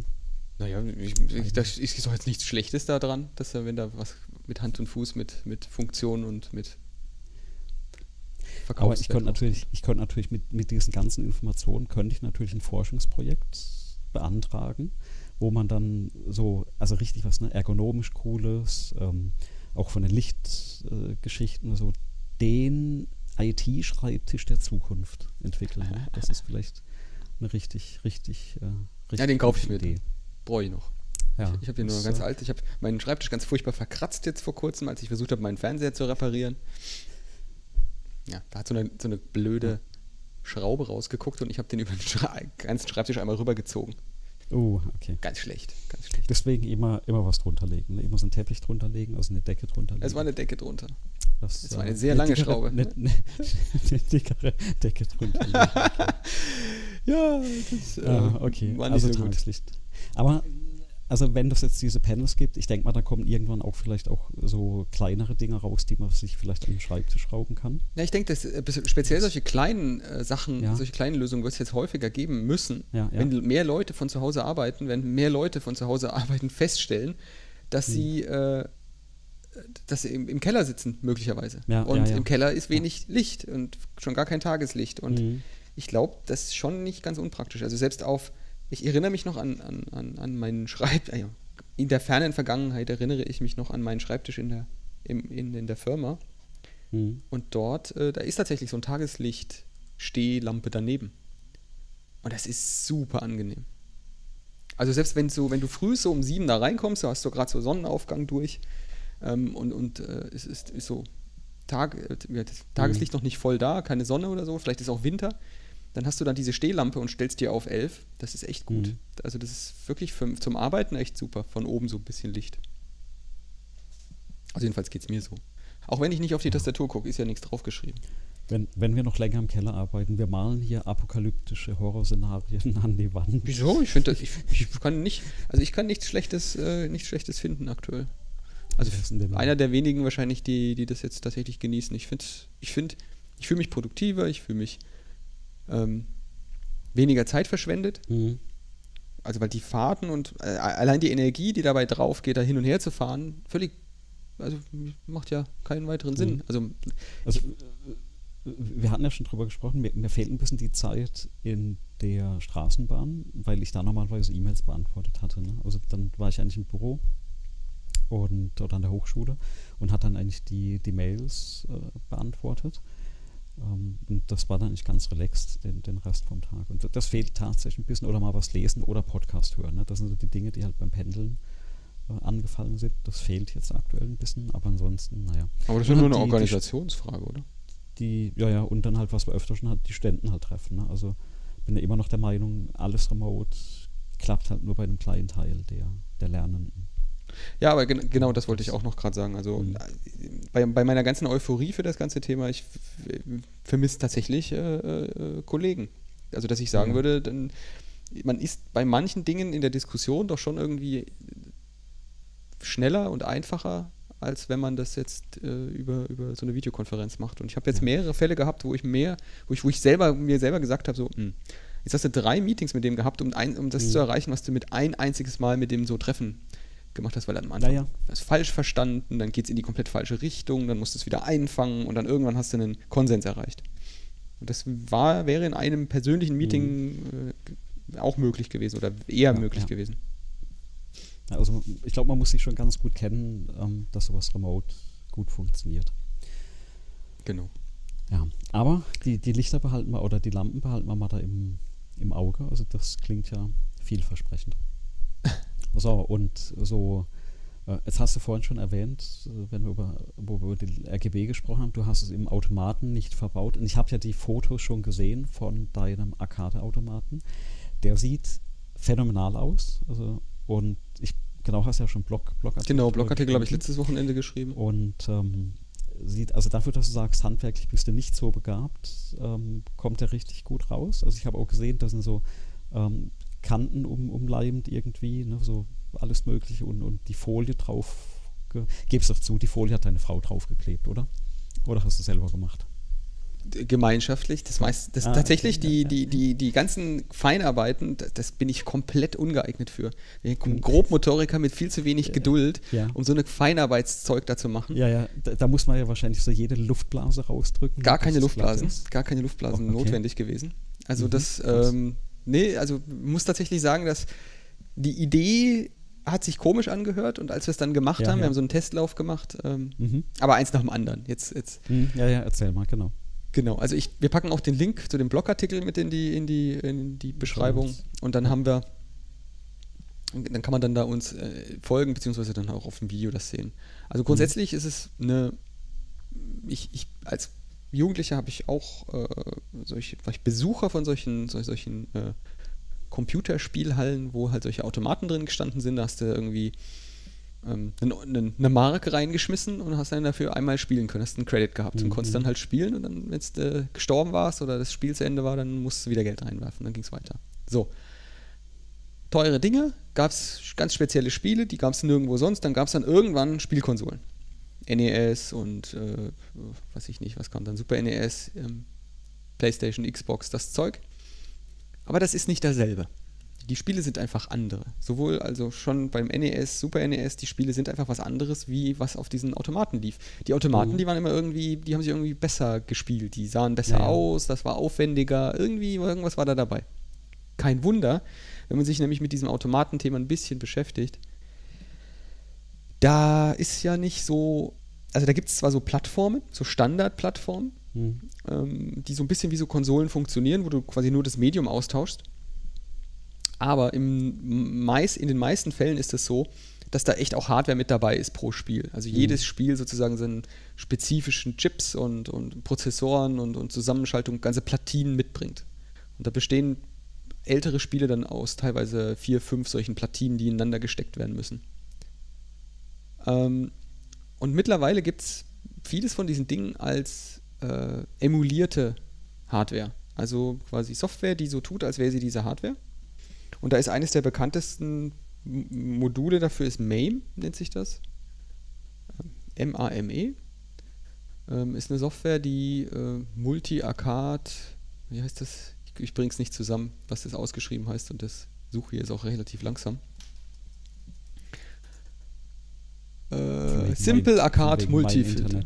Ja, ja. Multiple Arcade Machine Emulator. Genau. Und das Ding ähm, ist einfach so ein Plug-in-System für Systeme, für richtige CPUs, mhm. die da simuliert werden, für ROMs, für Grafik, für Chip, für irgendwelche Soundchips, alles Mögliche. Mhm. Und wenn man dann sozusagen den, die Speicher von diesen Originalplatinen ausliest und in solche Dateien speichert, dann kann man die dann da mit so einem MAME kann man die gut emulieren, simulieren. Mhm. Und dann kann man die alten Spiele dann theoretisch oder praktisch auch spielen. Gibt es auch ein paar freie. Alles ganz super. Und um dieses Ding herum habe ich mir gedacht, äh, wäre es doch toll, wenn man dann mal so einen Automaten hätte. Und wenn man da im Internet sucht, findet man das auch. Dass es da viele Leute gibt, die sich solche Automaten selber bauen. Da gibt es ja dann die normalen stehenden Automaten, also die bis zum Boden gehen. Mm, und also die Full-Size Arcade Machines und dann gibt es dann die Bartop Arcade Machines. Also die sind mhm. quasi unten abgesägt und die kannst du dann üblicherweise sind die wegen kleiner und die kannst du dann auf eine Bar stellen und kannst mhm. dann quasi an der Bar sitzen und dann das Ding spielen. Genau. Es kommt mal runter, dass man da mehr sieht. genau. Und ich hab, bin dann hergegangen und habe das Ding äh, äh, als Bartop-Maschinen mhm. mir ausgedacht, überlegt. Habe das, äh, das Design auf Basis von einem kleineren anderen Design ähm, angefangen zu, zu, zu malen. Und mit der Hilfe von meinem Vater, der sich die, der die komplette Holzarbeit da geleistet hat, haben wir dann quasi um einen Monitor, den ich ausgesucht habe, herum diese Maschine zusammengebaut. Mhm. Und ähm, das, was, was mit dem Verleimen, was du meinst, ist, im Grunde sind das zwei Seitenteile. Mhm. Die sind dann halt einfach einmal ausgeschnitten. Und dann sind solche Leisten da drauf geschraubt ja. und geklebt. Mhm. Und diese Leisten, die haben Löcher. Und da fädelst du ähm, solche Linsenkopfschrauben durch. Und die gehen in mhm. Gewinde, die in diesen anderen Platten, die da dran geschraubt werden, drin okay. sind. Mhm. Das heißt, du kannst das auch komplett so wie es hier liegt, äh, so wie es da ist, in Einzelteile, einzelne Platten wieder zerlegen und wieder zusammenbauen, ohne dass du auch nur irgendwie irgendein Holz beschädigst oder sonst irgendwas. Mhm, okay, ja. Voll transportabel, voll zerlegbar. Und so haben wir dann angefangen, das Ding zu bauen und mein Vater hat das tatsächlich, also ich würde sagen, zwei Tage hat er jetzt an dem letzten, wir haben zwei Stück gebaut, ähm, tatsächlich von den Dingern. Und an dem, dem ich jetzt hier habe, da hat er zwei Tage Holzarbeit gemacht. Dann habe ich das Ding abgeholt bei ihm. Mhm ähm, und habe angefangen, Elektronik reinzubauen. Ich habe auch so eine Liste gemacht, was dann da drin ist. Also im Grunde ist dann ähm, mhm. zwei Joysticks, so Arcade-Joysticks, ähm, zweimal sechs solche Buttons, vorne dann nochmal fünf Buttons dran zusätzlich. Ähm, also Start, Münzeinwurf, äh, Select, äh, Hotkey, dann halt die ganzen normalen Arcade-Buttons, die man da so hat, die sechs Stück. Münzeinwurf hast du jetzt dran gebaut, ne? Ich habe keinen Münzeinwurf dran, sondern eine keinen, Taste keinen, für den okay. Münzeinwurf. Mhm. Also du kannst, du kannst einfach einen, einen also Münzeinwurf oder einen Münzprüfer, die gibt es zu kaufen, kannst du kaufen, die liefern dir ein Signal, das funktioniert ja wie so ein Tastendruck. Mhm. Ähm, ja, kannst du machen, habe ich nicht gemacht, ähm, ist Geschmackssache. Habe jetzt einen Knopf, wenn du auf den drückst, dann äh, ist eine Münze eingeworfen. Ja, dann Raspberry Pi 4, diesen Monitor, den ich gesagt hatte, so ein 27 Zoll Monitor ist das jetzt in meinem Fall. Raspberry Pi 4, ähm, Netzteil, Verstärker, Boxen, äh, die man da einbaut und ein paar Kabel noch zusätzlich. Bei der Gelegenheit habe ich auch gelernt, wie man am billigsten ein, äh, äh, eine Lautstärkeregelung macht für normale Klinkenboxen. Mhm. Einfach ein Potentiometer dazwischen. Drehst einfach den, den, den, den Widerstand hoch. Und dann natürlich so einen, so einen Controller für die Joysticks. Ja, das ist alles da eingebaut. Ähm, und dann am Ende ein bisschen Lüftung, die Software RetroPie, also das ist mhm. jetzt quasi eine extra, ähm, eine extra Distribution für den Raspberry Pi spezifisch. Den kannst du installieren. Die kommt dann quasi mit solchen Emulatoren. Und dann kann man dann solche alten Arcade-Maschinen, Arcade-Automaten dann machen. Tatsächlich mhm. gibt es die Spiele selber äh, ziemlich günstig. Also nur die Spieleplatinen selber kannst du kannst du einfach kaufen, kannst du bei Ebay mhm. einfach eingeben. Ja, ja. Dann gibt es die Platinen. Ähm, kannst du dir die selber dumpen oder eben dann auf die Sachen im, im, im Internet mhm. zurückgreifen, die das schon mal gemacht haben, wenn du dir die Arbeit nicht machen willst. Genau. Dann habe ich eine Dokumentation geschrieben, wie sich das gehört ähm, und das Design gemacht. Und da hast du jetzt ja gerade eben schon darauf hingewiesen. Das Design ist halt dann in, komplett in Inkscape einmal gemalt und da gab es erst mehrere Ideen. Ich hätte von so einer, von so einer, von so einem Metal Slug, weiß nicht, ob, ob das bekannt ist, das ist halt so eine mhm alte Neo Geo Spieleserie. Ähm, hätte ich gerne das Design ursprünglich machen wollen. Ähm, aber das ist mehr oder weniger so eine, so eine, so eine Armee-mäßige Farbgebung. Das heißt, du hast dann immer nur grün, braun, Mhm. grau, dunkelgrün so. Und das sieht halt so in so einer Wohnung echt nicht so schön aus. Ähm, worauf meine Frau auf die Idee kam, mach doch, äh, wir mögen doch hier äh, Bubble Bobble als Spiel. Mhm. Ja, ja. Mach doch, mach doch das Bubble Bobble Design. Dann bin ich los, habe geguckt, was gibt's denn da von, von den, vom Hersteller, Taito, mittlerweile Square, Square Enix. Ähm, die haben nie so einen richtigen Automaten gebaut. Die haben nur Mhm. solche Mini, äh, Mini-Automaten gebaut, die so, so kleine, also die sind, wie, wie groß werden die sein? Äh, die sind mm, vielleicht so 30 Zentimeter hoch oder so. Also so wirklich winzig. Okay, also keine richtigen. Genau, die sind also wirklich winzige Dinger und ähm, nur Einspielerautomaten. Und das Design von denen, das so, ah, es sieht aus, wie es aussieht, ja. Ist halt blau und gelb. Und ähm, dann habe ich mir überlegt, naja, vielleicht kriegt man ja irgendwie das schöner hin. Habe auch noch ein bisschen im Internet gesucht und noch ein paar andere Details gefunden, andere Leute, die das auch angefangen haben zu designen. Aber so richtig habe ich da nichts gefunden. Ähm, habe dann einfach angefangen zu malen mit dem Rohmaterial, was man so findet von diesen, von diesen Designs. Habe nur Pixelmaterial gefunden im Internet. Und ähm, weil ich schon wusste, ich brauche das aber in großer Auflösung, weil das ist so ein, dieser Automat, der ist irgendwie 54 Zentimeter mal, 6, mal 70 als Bodenmaß. Mhm. Ähm, das heißt, du brauchst da schon ein paar Quadratmeter von Material. Ja, ja. Also, um genau zu sein, fast 5 Quadratmeter Vinyl. Mhm. Und also ich brauche das als Vektor. Also habe ich alles, was ich da so an Pixelart hatte, irgendwie in Vektoren selber gemalt, Mhm. in Inkscape angeordnet, bin dann auch in 1000 Limitierungen von Inkscape gelaufen. Weil, ähm, nachdem ich das alles schön ansortiert hatte, habe ich mir gedacht, was ist denn das größte, die größte Vinylfolie, die ein deutscher äh, Vinylfolienbedrucker herstellen kann? Und das sind irgendwie Ja. 5 Meter mal 1,20 Meter. Mhm. Also habe ich das auf 5 Meter mal 1,20 Meter in Inkscape aufgemalt. Das hat erstmal alles super funktioniert, bis Mhm. zu dem Moment, wo ich das Zeug dann habe zu dem transportieren wollen. Mhm. Weil dann hat man das Problem, mh, die nehmen erstmal nicht alle Formate. Ja, ja. Äh, Vektorformate als PDF nehmen sie zwar, aber ich habe da Effekte drin benutzt in meiner in meinem Design, die nicht in PDF supported sind. Also ich habe Transparenzen, ich habe äh, Blurring, äh, hier so Unscharf-Effekte und so weiter mit da drin gehabt. Ähm, und das ist schlecht. Welches Format haben sie dann am Ende genommen? Äh, TIFF oder PNG, also unkomprimierte Pixel. Mhm. Und dann habe ich schon geschluckt, weil ich mir gedacht habe, uh, das wird aber groß. Mhm. Ja. Ähm, ja, wurde dann auch groß, weil Inkscape hat sich direkt geweigert, das alles zu exportieren, was größer ist als 1,20 Meter mal 80 Zentimeter. Also in Echtgröße bei 600 Punkten pro Zoll, also D DPI. Mhm. Und 600 DPI ist genau das, womit die das drucken, in welcher Auflösung die das drucken wollen. Okay, ja, ja. ja. Und jetzt, jetzt einfach nur mal so zum, zum Verhältnis im Kopf äh, zum Merken. 1,20 Meter auf 80 Zentimeter, das sind so viele Pixel, dass am Ende irgendwie so ein Speicher von 4 bis 7 Gigabyte, je nachdem wie viel Farbwechsel und so weiter man, wie gut man es komprimieren kann, 4 bis 7 Gigabyte an Rohmaterial rauskommt in so einem PNG. Dann schickst du wahrscheinlich besser einen USB-Stick hin. Das kann, das kann man dann mit dem PNG und den ganzen äh, Encodings, die da drin sind, noch äh, komprimieren. Ähm, Mhm. Aber du kommst auf stattliche Dateigrößen, die so knapp unter 100 Ja, ja. Megabyte liegen. Ja. Und das haben die dann aber gefressen und haben es auch ausbelichtet auf fünf solche 1,20 Meter mal 80 Folien. Vorher habe ich noch so einen Test gemacht und dann kam dann ein großer Moment, ne, alles ein bisschen größer gemacht, so mit Überständen Mhm, und so. Ja, ja, ja. Das Zeug wird geliefert, ausgelegt und dann habe ich meinen mein so einen Seitenteil mal draufgelegt und daher aufgeatmet. Es passte äh, von den größten Verhältnissen. Und dann haben wir angefangen, ähm, wir, es in, ähm, ich habe mir überlegt, wie es geht und habe angefangen Mhm. rumzuschneiden und, und meine Frau hat dann sozusagen mitgeholfen, weil du brauchst vier Mhm, Hände mhm. und hat dann Ja, auch ja, den klar. größten Teil der, der Kanten hat sie dann gemacht, weil das konnte Ja. sie tatsächlich. Wir haben es probiert.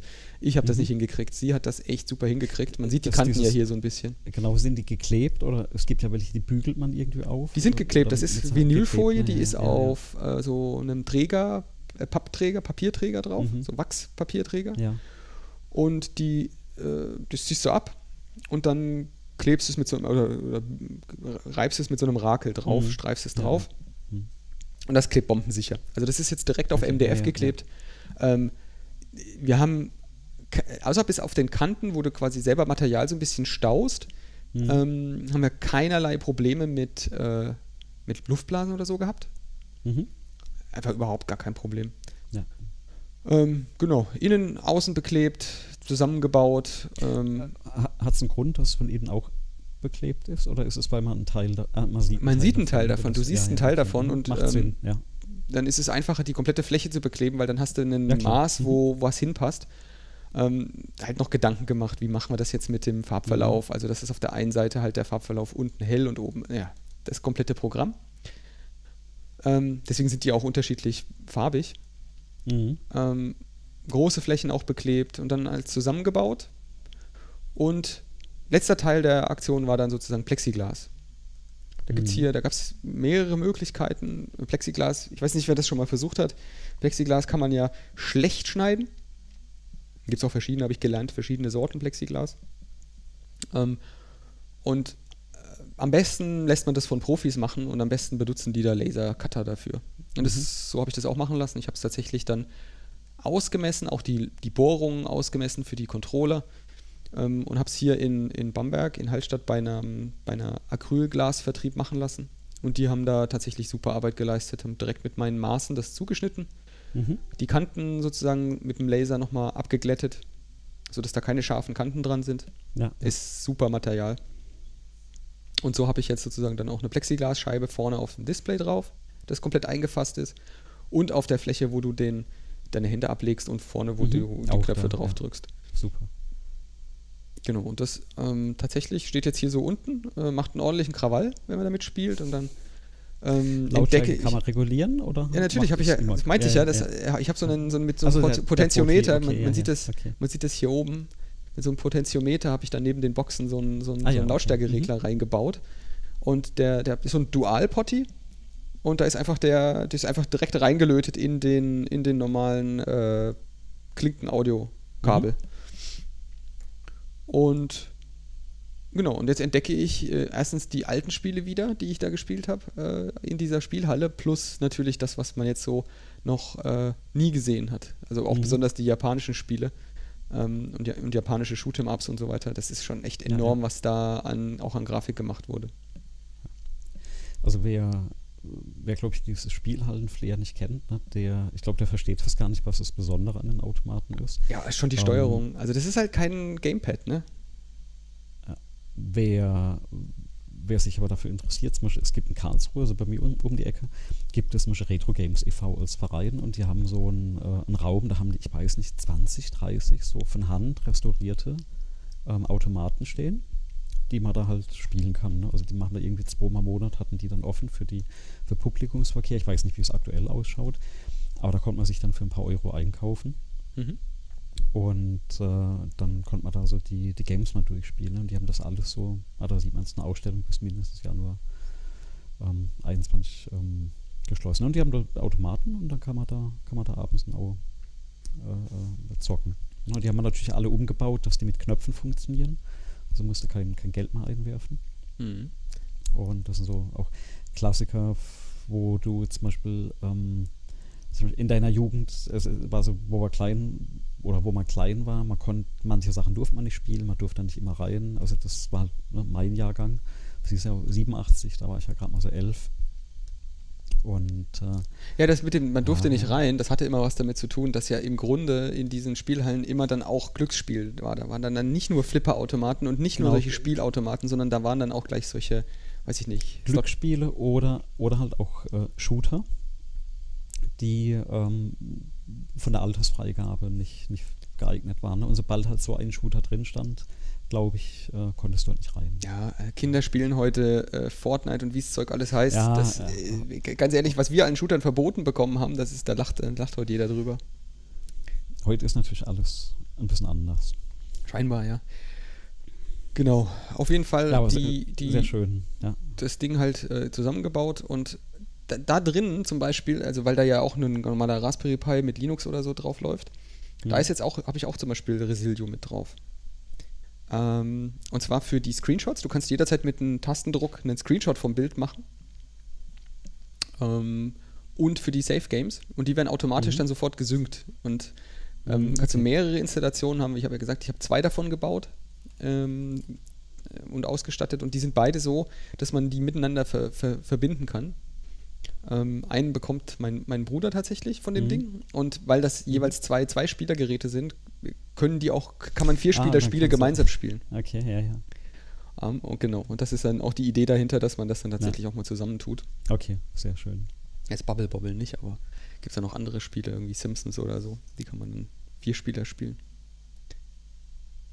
Sehr schön. Also quasi das Geschenk für alle, die schon alles haben, oder Ja, weiß ich nicht. ähm, Also der, der Bausatz für, für den nächsten Lockdown. Also jetzt schon die Sachen bestellen und im Winter könnt ihr das bauen.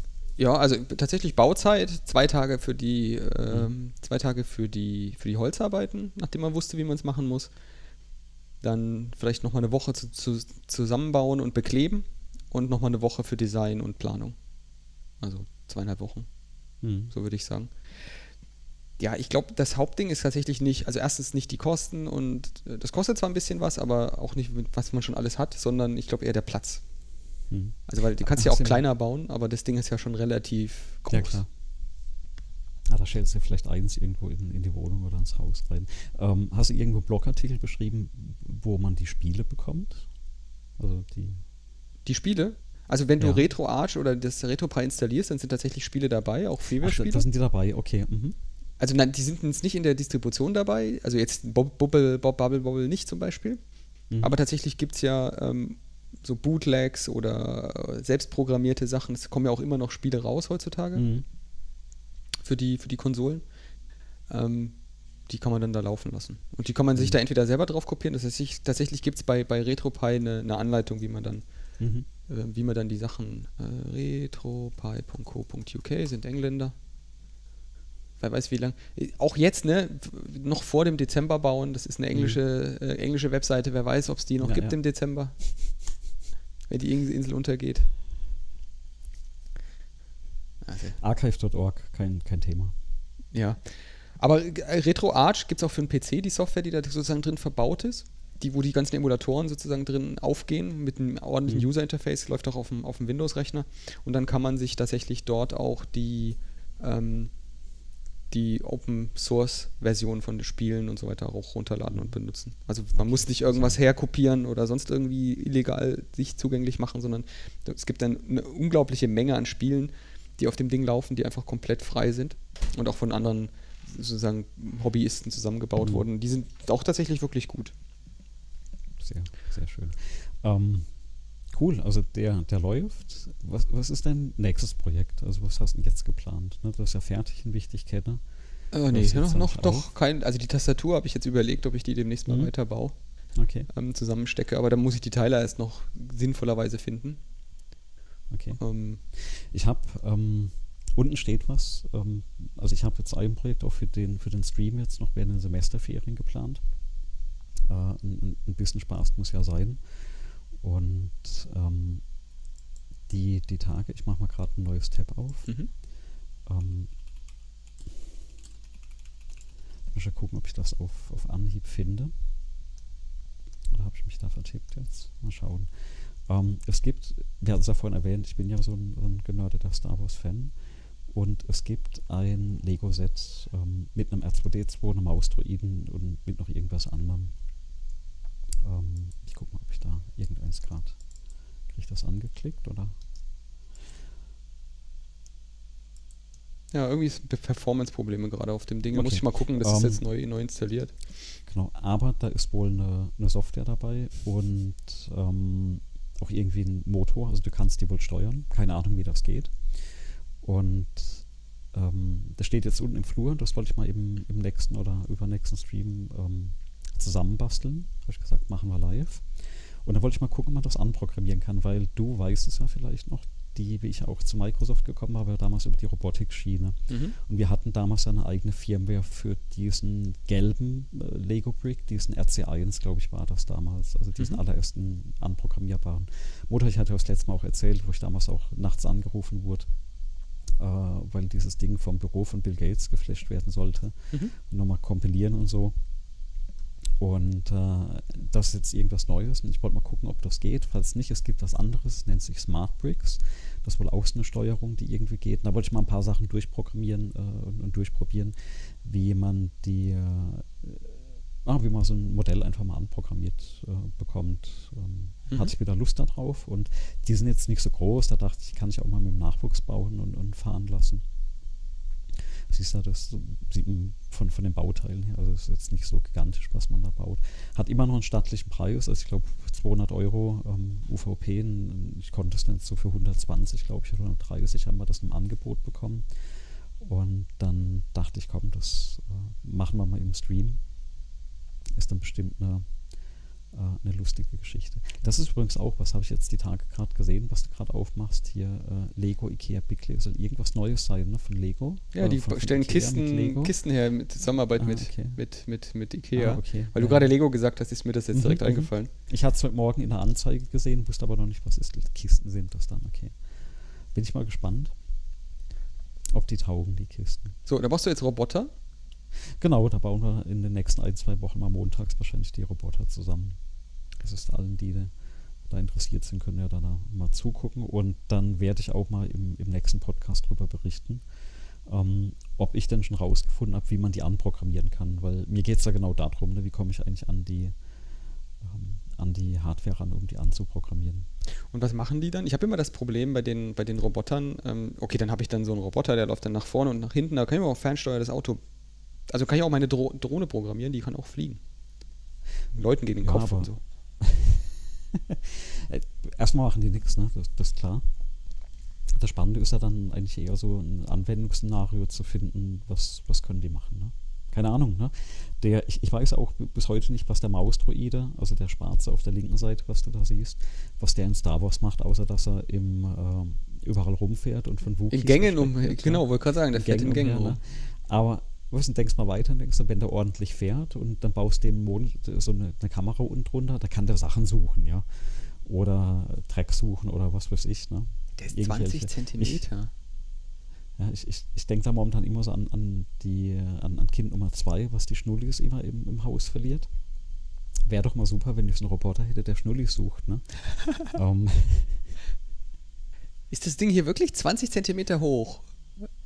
Weil es gibt. ich, ich weiß nicht, ich, ich werde es ja nächste Woche sagen. Also ich, ich kann mir es nicht vorstellen, weil die Bau von den Bauteilen hier müsste ein bisschen kleiner sein. Also ich hätte jetzt momentan so auf 10. Obwohl vielleicht, wenn der steht. Hier steht 20, hier steht 20 ja, kann sein, 7 Zoll. Kann sein, dass der, dass der doch an die 20 Zentimeter. Äh, Projektor reinbauen und nach Obi-Wan Kenobi suchen. Ja, also weiß ich, irgendwie so ein Blödsinn erstmal anprogrammieren, zusammenbauen, gucken, was die eigentlich können. Man weiß es ja immer erst, wenn man die in der Hand hatte. Und ich glaube, Ideen kommen dann, äh, sobald, sobald die, das mal gebaut ist. Ich habe halt jetzt was gebraucht, was man so an ein, zwei Vormittag machen kann. Ähm, weil, wie gesagt, aktuell geht halt die meiste Zeit dann doch für Vorlesen, Vorbereiten drauf. Und, aber manchmal muss halt was anderes machen. Ne? Und mhm. ich muss gerade über die URL lachen. LSP Chance Product-Titel nachgereicht, okay. Ja, sehr gut. Das ist ja, das ist, weil die Daten wahrscheinlich importiert werden vom Lieferanten und äh, mal, schauen. Ja, also, das ist, das ist so ein Suchmaschinenoptimierung. Was, was, was immer viel, äh, es ist wichtig, dass du stabile Adressen mhm. hast für Produkte, dann ranken die höher. Und deswegen ja. äh, erfinden die einfach welche und ändern die nie wieder. Und jetzt ist das hier, das war garantiert für ein komplett anderes Lego-Produkt. Ja, ja. Also pass mal auf, weil wir gerade im äh, Ah, ach du meine Güte, ne, weil wir gerade im äh, gegen Ende vom Podcast, den, jetzt kriegen wir gerade einen Raid ähm, auf, auf meinem Twitch-Kanal von der Nina. Die kommt ja gerade mit 8, 328 äh, äh, Leuten. 328, äh, hallo. 328 Leuten äh, rein, genau. Das heißt erstmal Hallo ähm, äh, für alle, die da, die da gerade dazukommen. Also ich bekomme es noch nicht angezeigt, dass die da sind, aber ich vermute mal, ihr, ihr seht und, und, und hört das schon. Ähm, ich nehme hier gerade mit meinem äh, lang, langjährigen Bekannten und guten Freund, dem Daniel Kirstenpfad, unseren Podcast auf. Das ist Episode 25, die wir heute aufnehmen. Mhm. Und äh, sind schon fast am Ende. Das heißt, die, die Nina rated da gerade zu einem äh, sehr lustigen Zeitpunkt rein. Ähm, Aber das macht ja nichts. Man genau. kann ja ein Interesse wecken. Also heute ging es um Keyboards. Es genau, um heute, heute ging es ein Keyboard, ein bisschen selbst gebastelte Sachen. Also es passt eigentlich von den Sachen, die die Nina macht. Ne? Also die baut ja auch Roboter. Und äh, jetzt hatte ich gerade, wir hatten einmal durchgesprochen, der Daniel hat so einen Arcade-Automaten nochmal gebaut. Und ähm, genau, ich weiß nicht, ob das nachher überhaupt im Podcast in der Aufnahme drin lässt. Und äh, was wir heute gemacht haben, ist endlich mal mit, mit äh, ordentlicher Qualität den Podcast live aufgenommen. Und also im Prinzip streamen wir den aus der, oder ich gerade von der Podcast-Aufnahmesoftware ähm, mit ein paar äh, Stotterern direkt in äh, das äh, Twitch rein und alle, die da Interesse hatten, konnten da quasi jetzt ein bisschen äh, zugucken, zuhören, müssen sich nachher den Podcast nicht mehr, nicht mehr antun. Genau. Ansonsten gibt es die Folge wahrscheinlich so gegen Wochenende. Mhm. Ähm, Was ja morgen äh, irgendwann beginnt. Morgen, genau. Also wird noch ein bisschen geschnitten, gerendert. Und äh, ich packe das dann auf unsere äh, Webseite. Und da könnt ihr den auch nachträglich äh, anhören. Und auf YouTube landet er in der Regel dann auch. Genau. Und ansonsten ähm, ja, Daniel hackt halt relativ viele Sachen rum. Ne? Und äh, also alle, die mich da noch nicht kennen, also ich bin Professor an der Hochschule Heilbronn und habe eigentlich seit dem laufenden Semester im Rahmen von einem kleinen Projekt äh, oder nee, äh, vergangenes Sommersemester alle meine Vorlesungen über Twitch gestreamt, ähm, damit meine Studenten was lernen können, ne? weil es war ja quasi nicht erlaubt, in den Hörsaal zu gehen. Ne? Und der Podcast hat ein bisschen drunter gelitten und darunter, dass die Kindergärten geschlossen wurden, aber ähm, wir sind mehr oder weniger am Ball geblieben. So ist es. Genau, das heißt, wir haben, äh, also da nochmal ein Hallo an, an alle und äh, genau, also von den Themen her sind wir, sind wir eigentlich durch. Ähm, was haben wir denn noch, Daniel? Server ist umgezogen, das Buch wurde interviewt wurde, es ist veröffentlicht, äh, werde ich mir noch bestellen. Es gibt einen Ausblick, ja, ähm, ja. was wir das nächste Mal definitiv, äh, also ich weiß nicht, ob es schon Ergebnisse mhm. gibt das nächste Mal. Wir hatten ja, ja, in der Folge 24 hatten wir ja den Philipp mit dabei. Mhm. Und der hatte die Tage gefragt, ob jemand ihm ganz viele Raspberry Pis schenken kann oder geben kann oder leihen kann. Ja, genau. und dann habe ich gefragt, habe ich ihn gefragt, wofür braucht er die denn? Und mhm. dann meinte er so, er will das ARPANET nachbauen. Er will einfach mhm. mal so, ähm, und wer das nicht kennt, äh, ARPANET ist sozusagen der Ur-Urvater des Internet. Ist also das, was sozusagen war, aus dem das Internet entstanden ist. Und das bestand aus einer recht überschaubaren Anzahl von Knoten, von Rechnern, Recheneinheiten und, und, und genau. Systemen. Genau. Und tatsächlich möchte er genau das, was ich jetzt auf dem Bildschirm geholt habe, dieses ARPANET von 1973, möchte er nachbauen, so wie ich das richtig verstanden habe. Mhm. Und da braucht man gar nicht so ein riesen Raspberry Pi Zeug für. Das geht auch mit mhm. kleineren Dingen und da habe ich.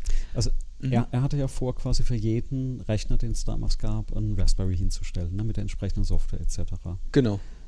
Ja, und du hattest dann die Idee dafür, einen ESP zu nehmen. Genau, das gibt ja so Mikrocontroller, mhm. ESP32 jetzt in dem Fall habe ich empfohlen. Und diese ESP32, die sind eigentlich von der Kraft, also von der Leistungsfähigkeit her ziemlich nah dran an dem, was man damals gehabt hat. Wahrscheinlich sogar deutlich mehr.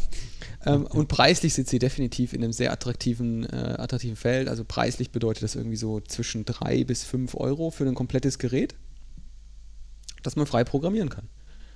Ähm, ich habe, ähm, mhm. also drei habe ich schon hier rumliegen. Ja, und ich fand die Idee super, weil ich habe zwei Vorlesungen, wo ich das Bildchen immer drin habe. Ja. Wo ich, wo ich zeige, guck mal, also wenn ihr euch heute überlegt, also die, die meisten sind ja geboren, die ich inzwischen unterrichte, die, die kennen die Welt nur mit Internet. Ja, die, die, kennen das gar nicht ohne. Also nicht, nicht wie wir früher, also nur ein Rechner oder eben äh, Rechner und, weiß noch, 14-4er Modems mit dem Düdelü-Pfeifen, mhm. ähm, wo man sich irgendwo einwählt und Mailboxen hatten wir auch schon mal drüber gesprochen, sondern tatsächlich, ähm, die, die, kennen das nur ne, online und etc.